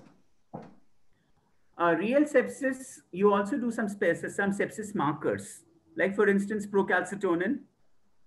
Now, Yes, for a CRBSI, if it's a central line related bloodstream infection, first thing is you would have admitted the child for some time in the critical care. You would have put in a central line. Yes. 48 hours would have elapsed. And then there, uh, and then if if one goes around monitoring the site of insertion of the central line, there would always be some reddening or something to, to demonstrate a blood culture, the, uh, I mean, a bloodstream infection and the central line being a source. There is something called as a differential time to positivity, wherein you draw one blood culture through the central line and, and another one through a peripheral venipuncture. We have to label those appropriately, send both the blood cultures at the same time to the laboratory. If there is a gap of less than two hours between the two blood cultures flagging off, it is definite indication that this is probably a central line associated bloodstream infection. We also call it a Sir, thank classic. you. Yeah. And uh, two more last two questions, sir. One, how do you interpret this MIC, sir? Most of the participants are asking about interpretation of MIC in the cultures. interpretation of MICs is something that the microbiology laboratory must be able to do and give you a reasoning because it differs in every case. Now, I, will only leave you with one sentence. Most of the times we say MIC is 1, 0.5, 0.25, and so on. Please remember Yes. it is a range. When we say an MIC is 1, it's probably, it range, the, the range is from 0.5 to 1.5. So which means that is the amount of antibiotic that you need to target that particular organism in a bloodstream infection or in a closed cavity infection. But then by and large, it is, it is not a clinician's job to sit and understand MIC values. Um, yes, so, so, so anytime we, we dish out those reports in Rainbow Children's, you can always phone us back and say, it is your business to tell me what, what this MIC means and even the others, please phone back your microbiology people and tell them to, to explain what the MIC means in that particular patient in that particular site of infection and with that organism. It differs in every case from patient to patient and from organism to organism, from one site to another. So, So uh, was- one cannot generalize an MIC. Fine, fine, sir. Now, what exactly they want is like if based on the MIC, can we start an antibiotic one, antibiotic two like that? So that is the idea of the If question. an MIC of 10 antibiotics is given, the general uh, rule that is followed is the one with the least MIC is what I will give. Do not follow that. It doesn't make sense. Yes, yes, sir. That's what the clarity sense. And that's one of the reasons Yes. why you land up ta- you using amikacin and gentamicin to Yes. treat a Yes, sir. bloodstream infection as monotherapy. It shouldn't be done. We always Yeah. give aminoglycosides with beta-lactams in combination. Yes. sir. And final question to you, sir. This one is how do you, uh, I mean, uh, do the calculation of viral load, sir? Viral load. When the bag is Viral burned, load is in something general. that, yes, a real-time instrument gives you a definite, uh, I mean, the, there is something called as, um, we don't calculate it, it comes calculated from the real-time instrument. There is a set point and anything above that is, is uh, detected as copies of the virus Yes, yes, that particular amount of sample. That's why you get 1250 per microliter. Copies per ml. Yeah, that is extrapolated to so many copies per ml. Viral Yes, loads are yes, sir. extremely important to determine the efficacy of antiviral therapy, particularly for HIV, HCV, H, uh, uh, hepatitis B virus, and so on. Fine. So thank you very much, sir, for answering all the questions very patiently. You're welcome. You're welcome. My Let us go to. Dr. Sir, thank you, sir. Thank you very much. Sure. Let us go to Chitra. Sure. Yeah. Uh, being COVID warrior, your first question is on HCQ. Like Yes, if sir. one SLE diagnosed is receiving hydroxychloroquine, is he going to get protected or what is the take on this? Definitely, there is a protection, sir, from HCQs. Uh, what the studies have uh, shown that increased alkalinity and the penetration of these RNA viruses into the cell preventing the lysosomal activity. So definitely there is a possibility of hydroxychloroquine to be taken by all healthcare workers uh, unless and until uh, they are having any uh, Okay. hypertensive cardiac issues or all. And the baseline ECG is being taken for all these And- cases. And second question. Right, right, yeah. And the second question is, how do you differentiate polymyositis from dermatomyositis? This is question from Dr. Usha Rani. polymyositis it is the inflammation alone uh, involving the joints more than five uh, more than five joints are involved whereas in dermatomyositis it is not always a, uh polyarticular it can be also a polyarticular but here the muscle involvement is also more mostly seen along with the joint involvement Yeah, fine. Can I, can I, uh, with due respect to you, can I add to this? yes yes sir please go ahead Yeah. Yeah, polymyositis is very, very rare in children, extremely rare in yes children. Diagnosed dermatomyositis, you have the criteria. Like you have one case, no, just presented one case where yes muscle enzymes are elevated, LDH, CPK, and aldolase. cpk Then you- yes aldolase ldh also there. yes Yeah, MRI is also su- suggestive of that. These, these are the criteria, and EMG also. Yeah, Yes. yeah. So that is that, and polymyositis is very, very rare, extremely rare. You can consider like above 18 it is not below 18 years sir. that's what age group is also to be considered yes sir Exactly, exactly, exactly. Very, very rare.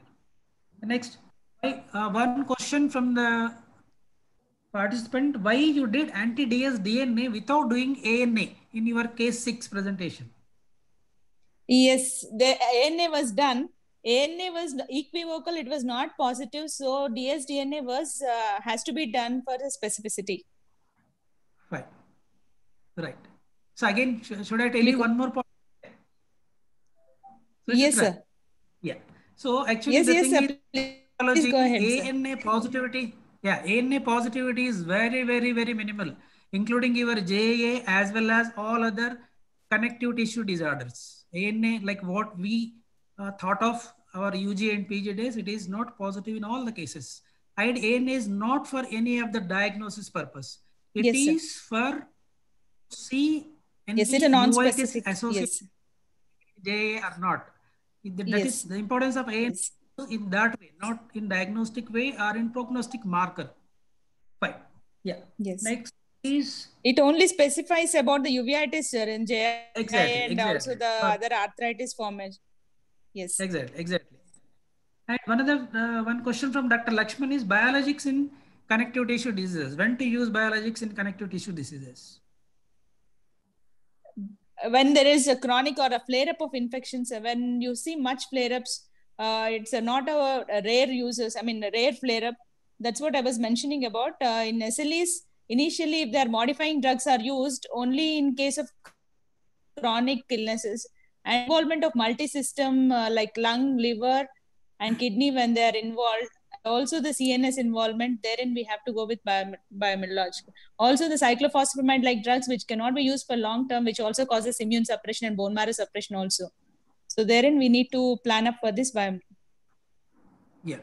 So again, I would like to answer Hello? Suchitra. Please, Yes, due sir. respect to the speaker. Again, Yes, I would sir. like to answer. Okay. Yeah. The thing is, uh, Dr. Lakshman sir, uh, the use of biologics in all these connective tissue disorders varies from disease to disease. Just one example I will give you, JIA.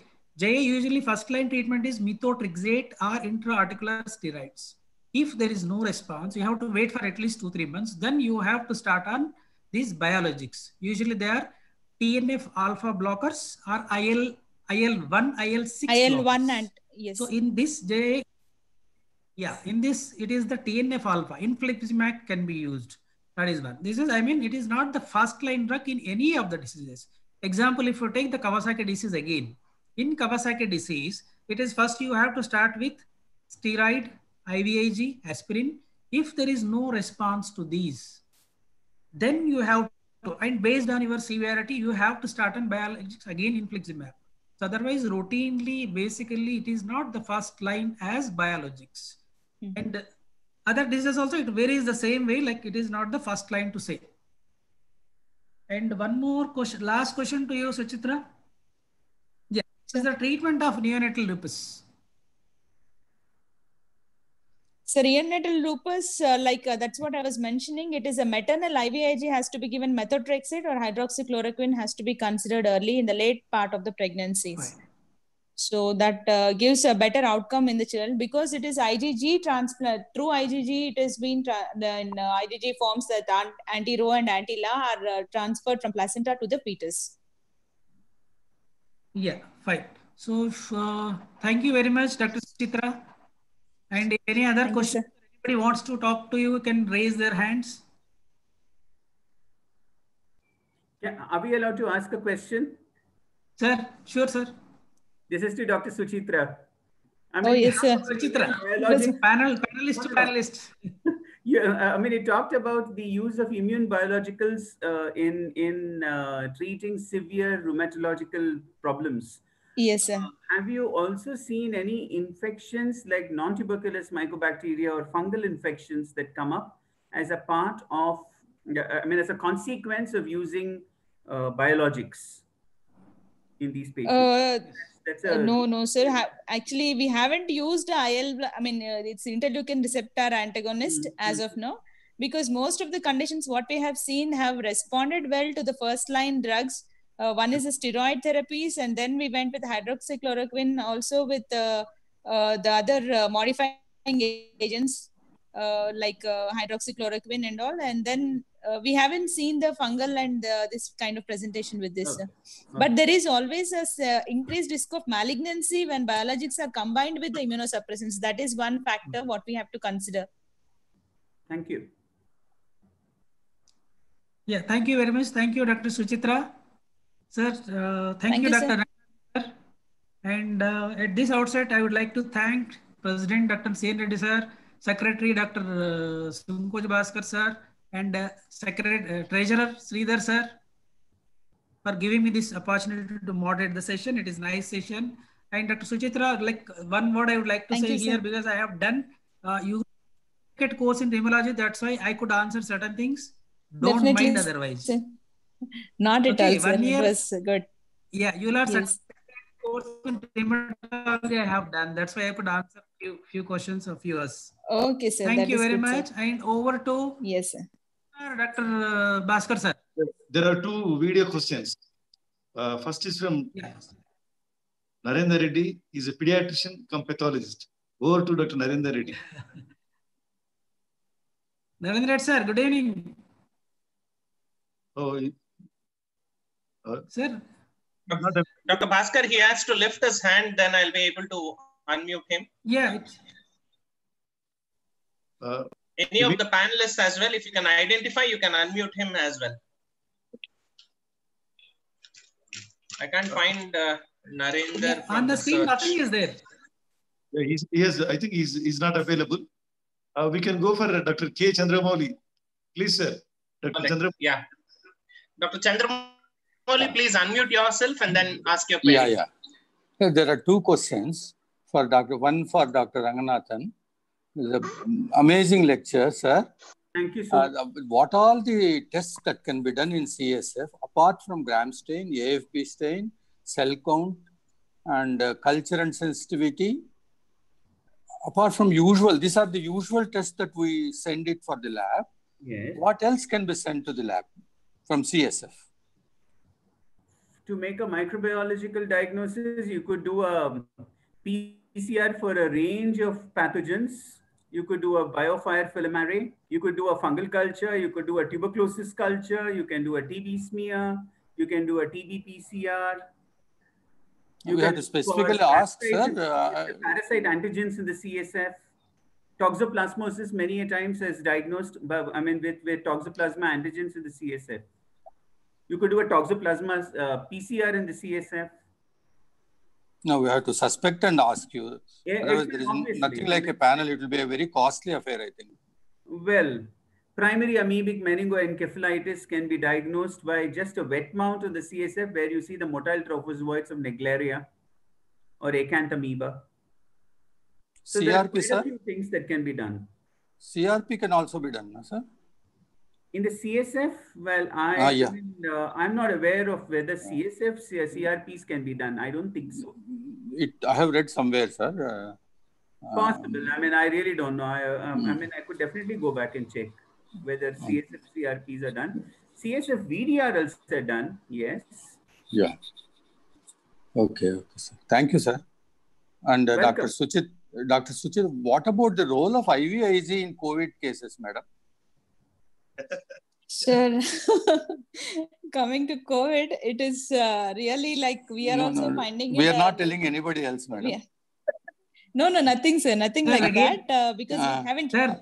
we haven't, uh, sir, we haven't tried this IVIG also in any of the cases because we had varied presentations, but uh, not using IVIG as of now. None of What is effective, uh, effective antiviral? because most of? Sir, antiviral effectively, presently we are using oseltamivir, sir. Okay, same fluid. Yeah, Resma. Yeah, Fluvir has been used, and uh, most of the children are asymptomatic. Uh, so in this, we are uh, CBP. We are finding it leukocytosis than leukopenia. I mean lymphopenia or uh, leukopenia. Neutrophil, uh, neutrophilia is seen.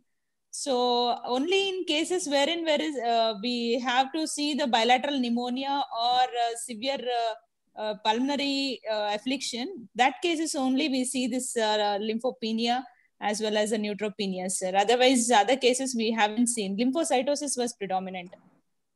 Okay.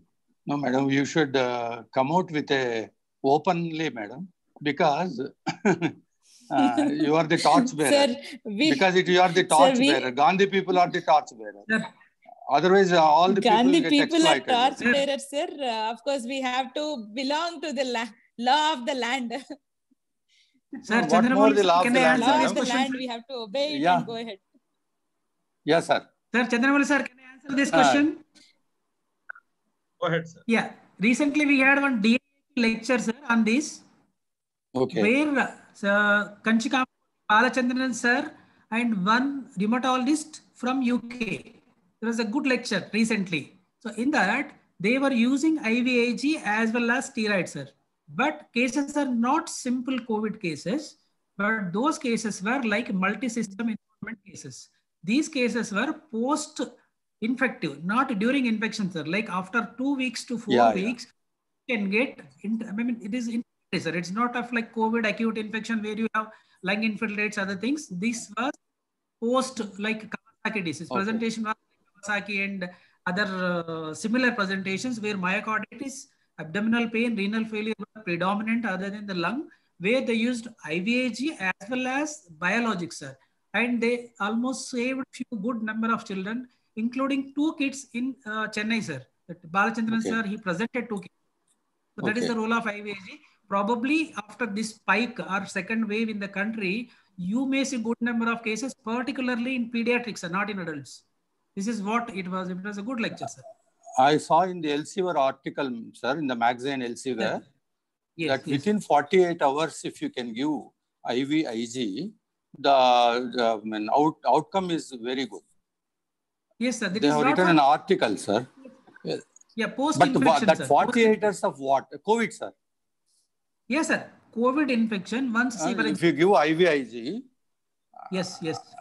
Another thing, sir, here what is happening in this COVID is most of the cases, even though they are COVID, they are they are uh, I mean admitted under non-COVID, like acute respiratory distress syndrome. Exactly, Because- exactly, sir.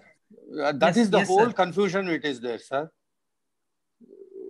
So the, the- I have heard from a No, sir. It was hospital. very clear, sir. I, I have heard from one corporate hospital. sir, He says very clear, there are 200 cases, Sir. only 10 were positive, or 200 cases have the same symptom complex. So There is Yes, something yes, we are sir. missing. So in this again, no, sir, no, sir. I'll tell you in this, sir, that uh, clear clarification was there. Clearly, for example, if one patient comes to you around five years old child with non-respiratory problems, probably he had infection 10 days or 15 days back.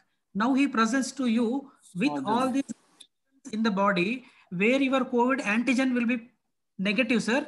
Antibody will be positive. The same thing happened with the two kids in Chennai. So this is the clarification. They were COVID negative. Once you repeat it, antibody was positive, antigen was negative.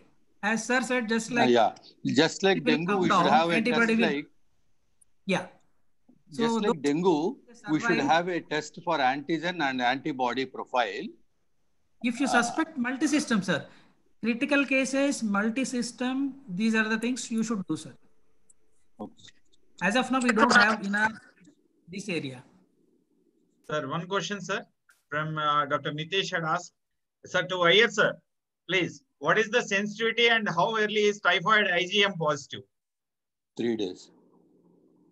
IgM is positive pretty early in the illness, Okay. About three to five days, as somebody just now said. Yeah. Uh, and probably that's why it's become a little more popular than the Widal. But then um, there are a lot of caveats to this. If if something, I mean, if a test has to be done in the first three to five days of the illness, I would still do it. I recommend a recommended blood culture. Thank you, sir. because whether you do IgM or whether you do a Widal, all these are indirect ways of uh, uh, making a diagnosis of enteric fever. It's much better made with a blood culture because you get an antimicrobial susceptibility. You're able to demonstrate quinolone failures of uh, therapeutic failures of quinolone monotherapy. Thank you, sir. Thank you. We have a question from Dr. Ramanatsamma Reddy from US. Over to Dr. Ramanatsamma Reddy. Unmute yourself, sir.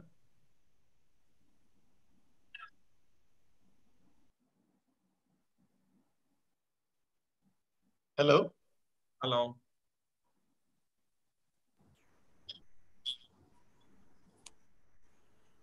Hello, are you able to hear?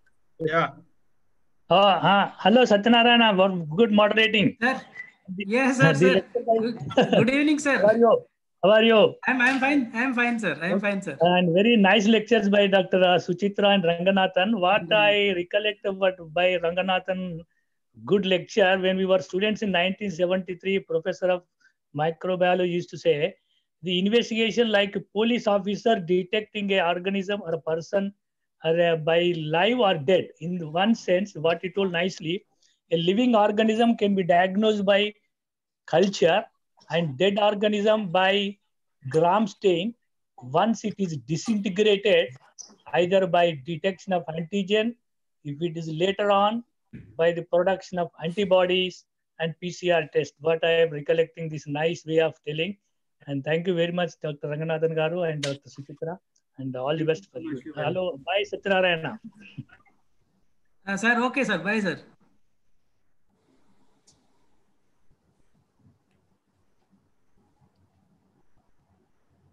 Hello. Hello. Dr. R. Okay. Uh, now over to Dr. C. N. IAPTCB, Dr. C. N. Thank you. Thank you, Dr. Bhaskar. Uh, wonderful lectures. Uh, thank you very much, Dr. Ranganathan Garu, for your wonderful and uh, excellent lecture. Uh, we were enlightened.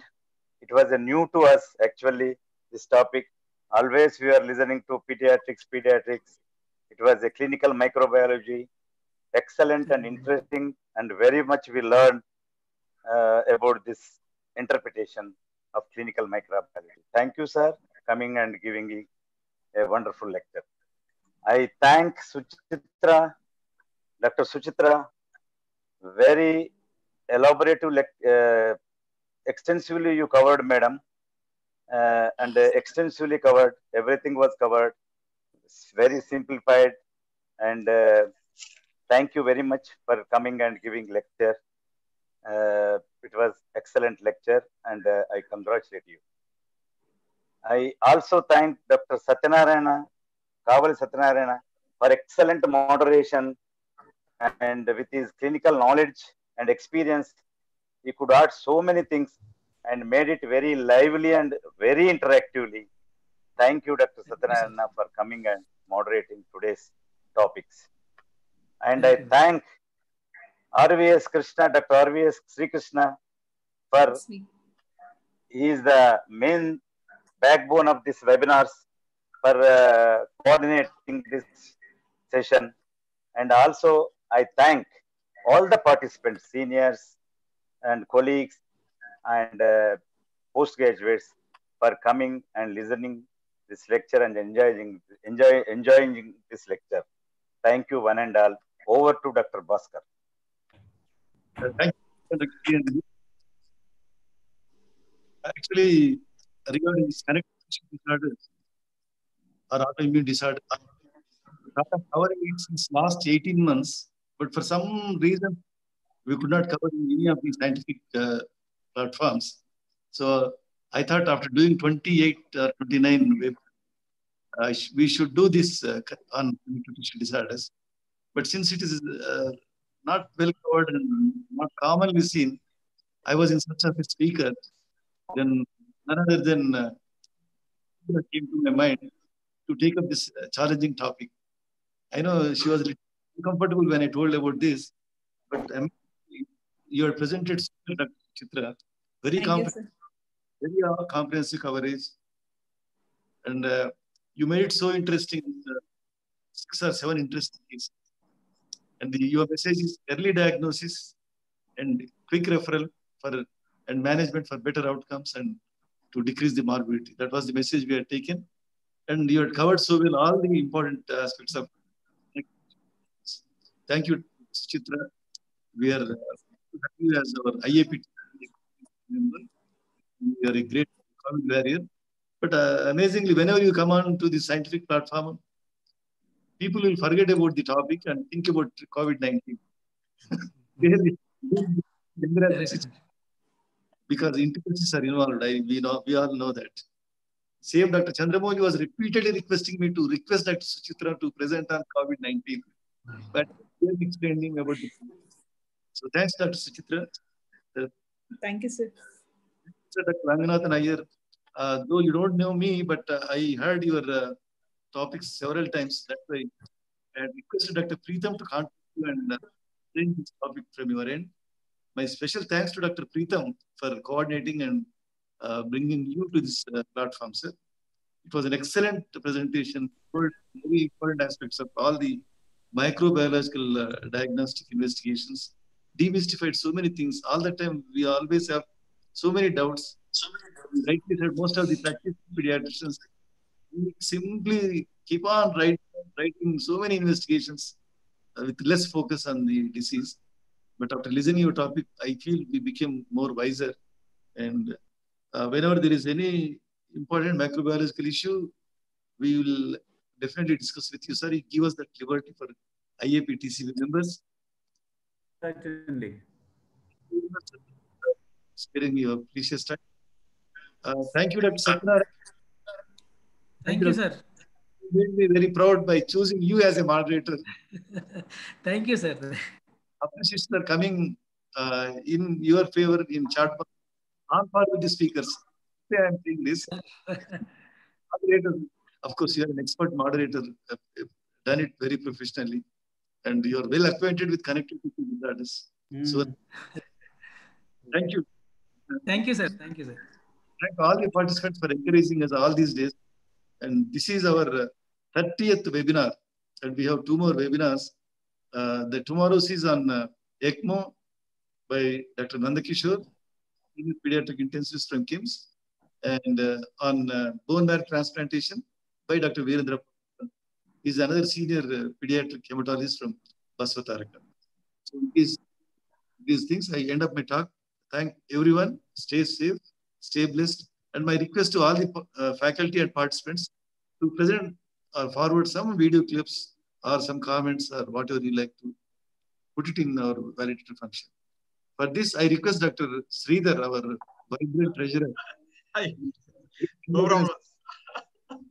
Sir, thank you, thank you, Bhaskar garu. Thank you so much. And uh, I great thanks to the excellent lecture by Dr. Suchitra and Dr. Ranganathan Iyer, sir, and great moderating by Dr. Sachinana, sir. And uh, a small uh, request from you all people, kindly send your videos to the IAPTCB enclosed phone number, Dr. Sunkoj Bhaskar, sir, so that we can play on the 31st night in the evening between 6 to 8 p.m. We request basically all the moderators, all the speakers to send the videos. Suchitra, be active. Be, Okay, come sir. on. Uh, one day is more. Please, uh, by tomorrow evening, I can expect you around uh, five to ten videos from you. So Sachinani Garu, please, how Sure, you sure. how you enjoyed these two months uh, along Yeah. with the rainbow work, how evenings, what you have done, and what you Yeah, made yeah. you lockdown, what you feel about the lockdown.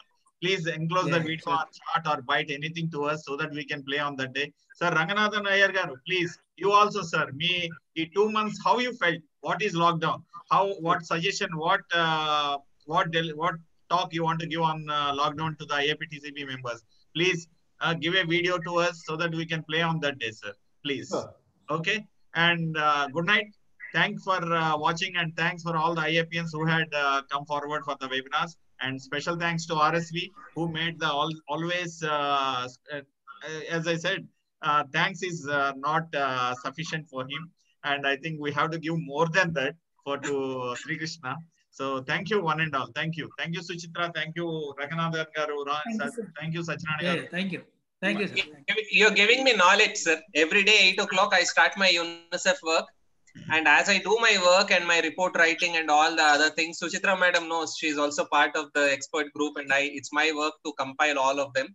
As I do my UNICEF work, on the other side, I'm able to get back to core pediatrics, which I miss on a daily basis. Dr. Suchitra, please ask your entire Gandhi Sure. team to please join us on that day. We will not ask any questions on COVID. President Garu kindly note this point. ఆ రోజు ఎవరైనా Covid మీద question అడిగితే. Exit చేసేద్దాం బయటకి. కానీ George గారిని కానీ ఇబ్బంది పెట్టద్దు ఆ రోజు. ఆ రెండు గంటలు కోవిడ్ తప్ప ఏమైనా అడగచ్చు ఎవరైనా. And we have a special screening for you for the entire Gandhi team it is surprise from IIP TCB please come over I'm sure you'll enjoy if if you were Thank you, all thank you uh, physically available and if there was an opportunity for us to meet you physically we would have come down and felicitated each one of you at That's Gandhi true. Hospital. That's true. That's you, true. you are our you are our representatives you are the people on the field you are like the bsf force which is um, on the border Uh, I think- everybody else are all Yeah. nicely looking at numbers we are interpreting it we are imagining that we are experts in covid including myself and we are thinking this should be done that should be done cricket match ఆడేటప్పుడు సచిన్ అలా కాదు ఇలా కొట్టాల్సిన అలా మా ఇష్టం వచ్చినట్టు అనుకుంటున్నాము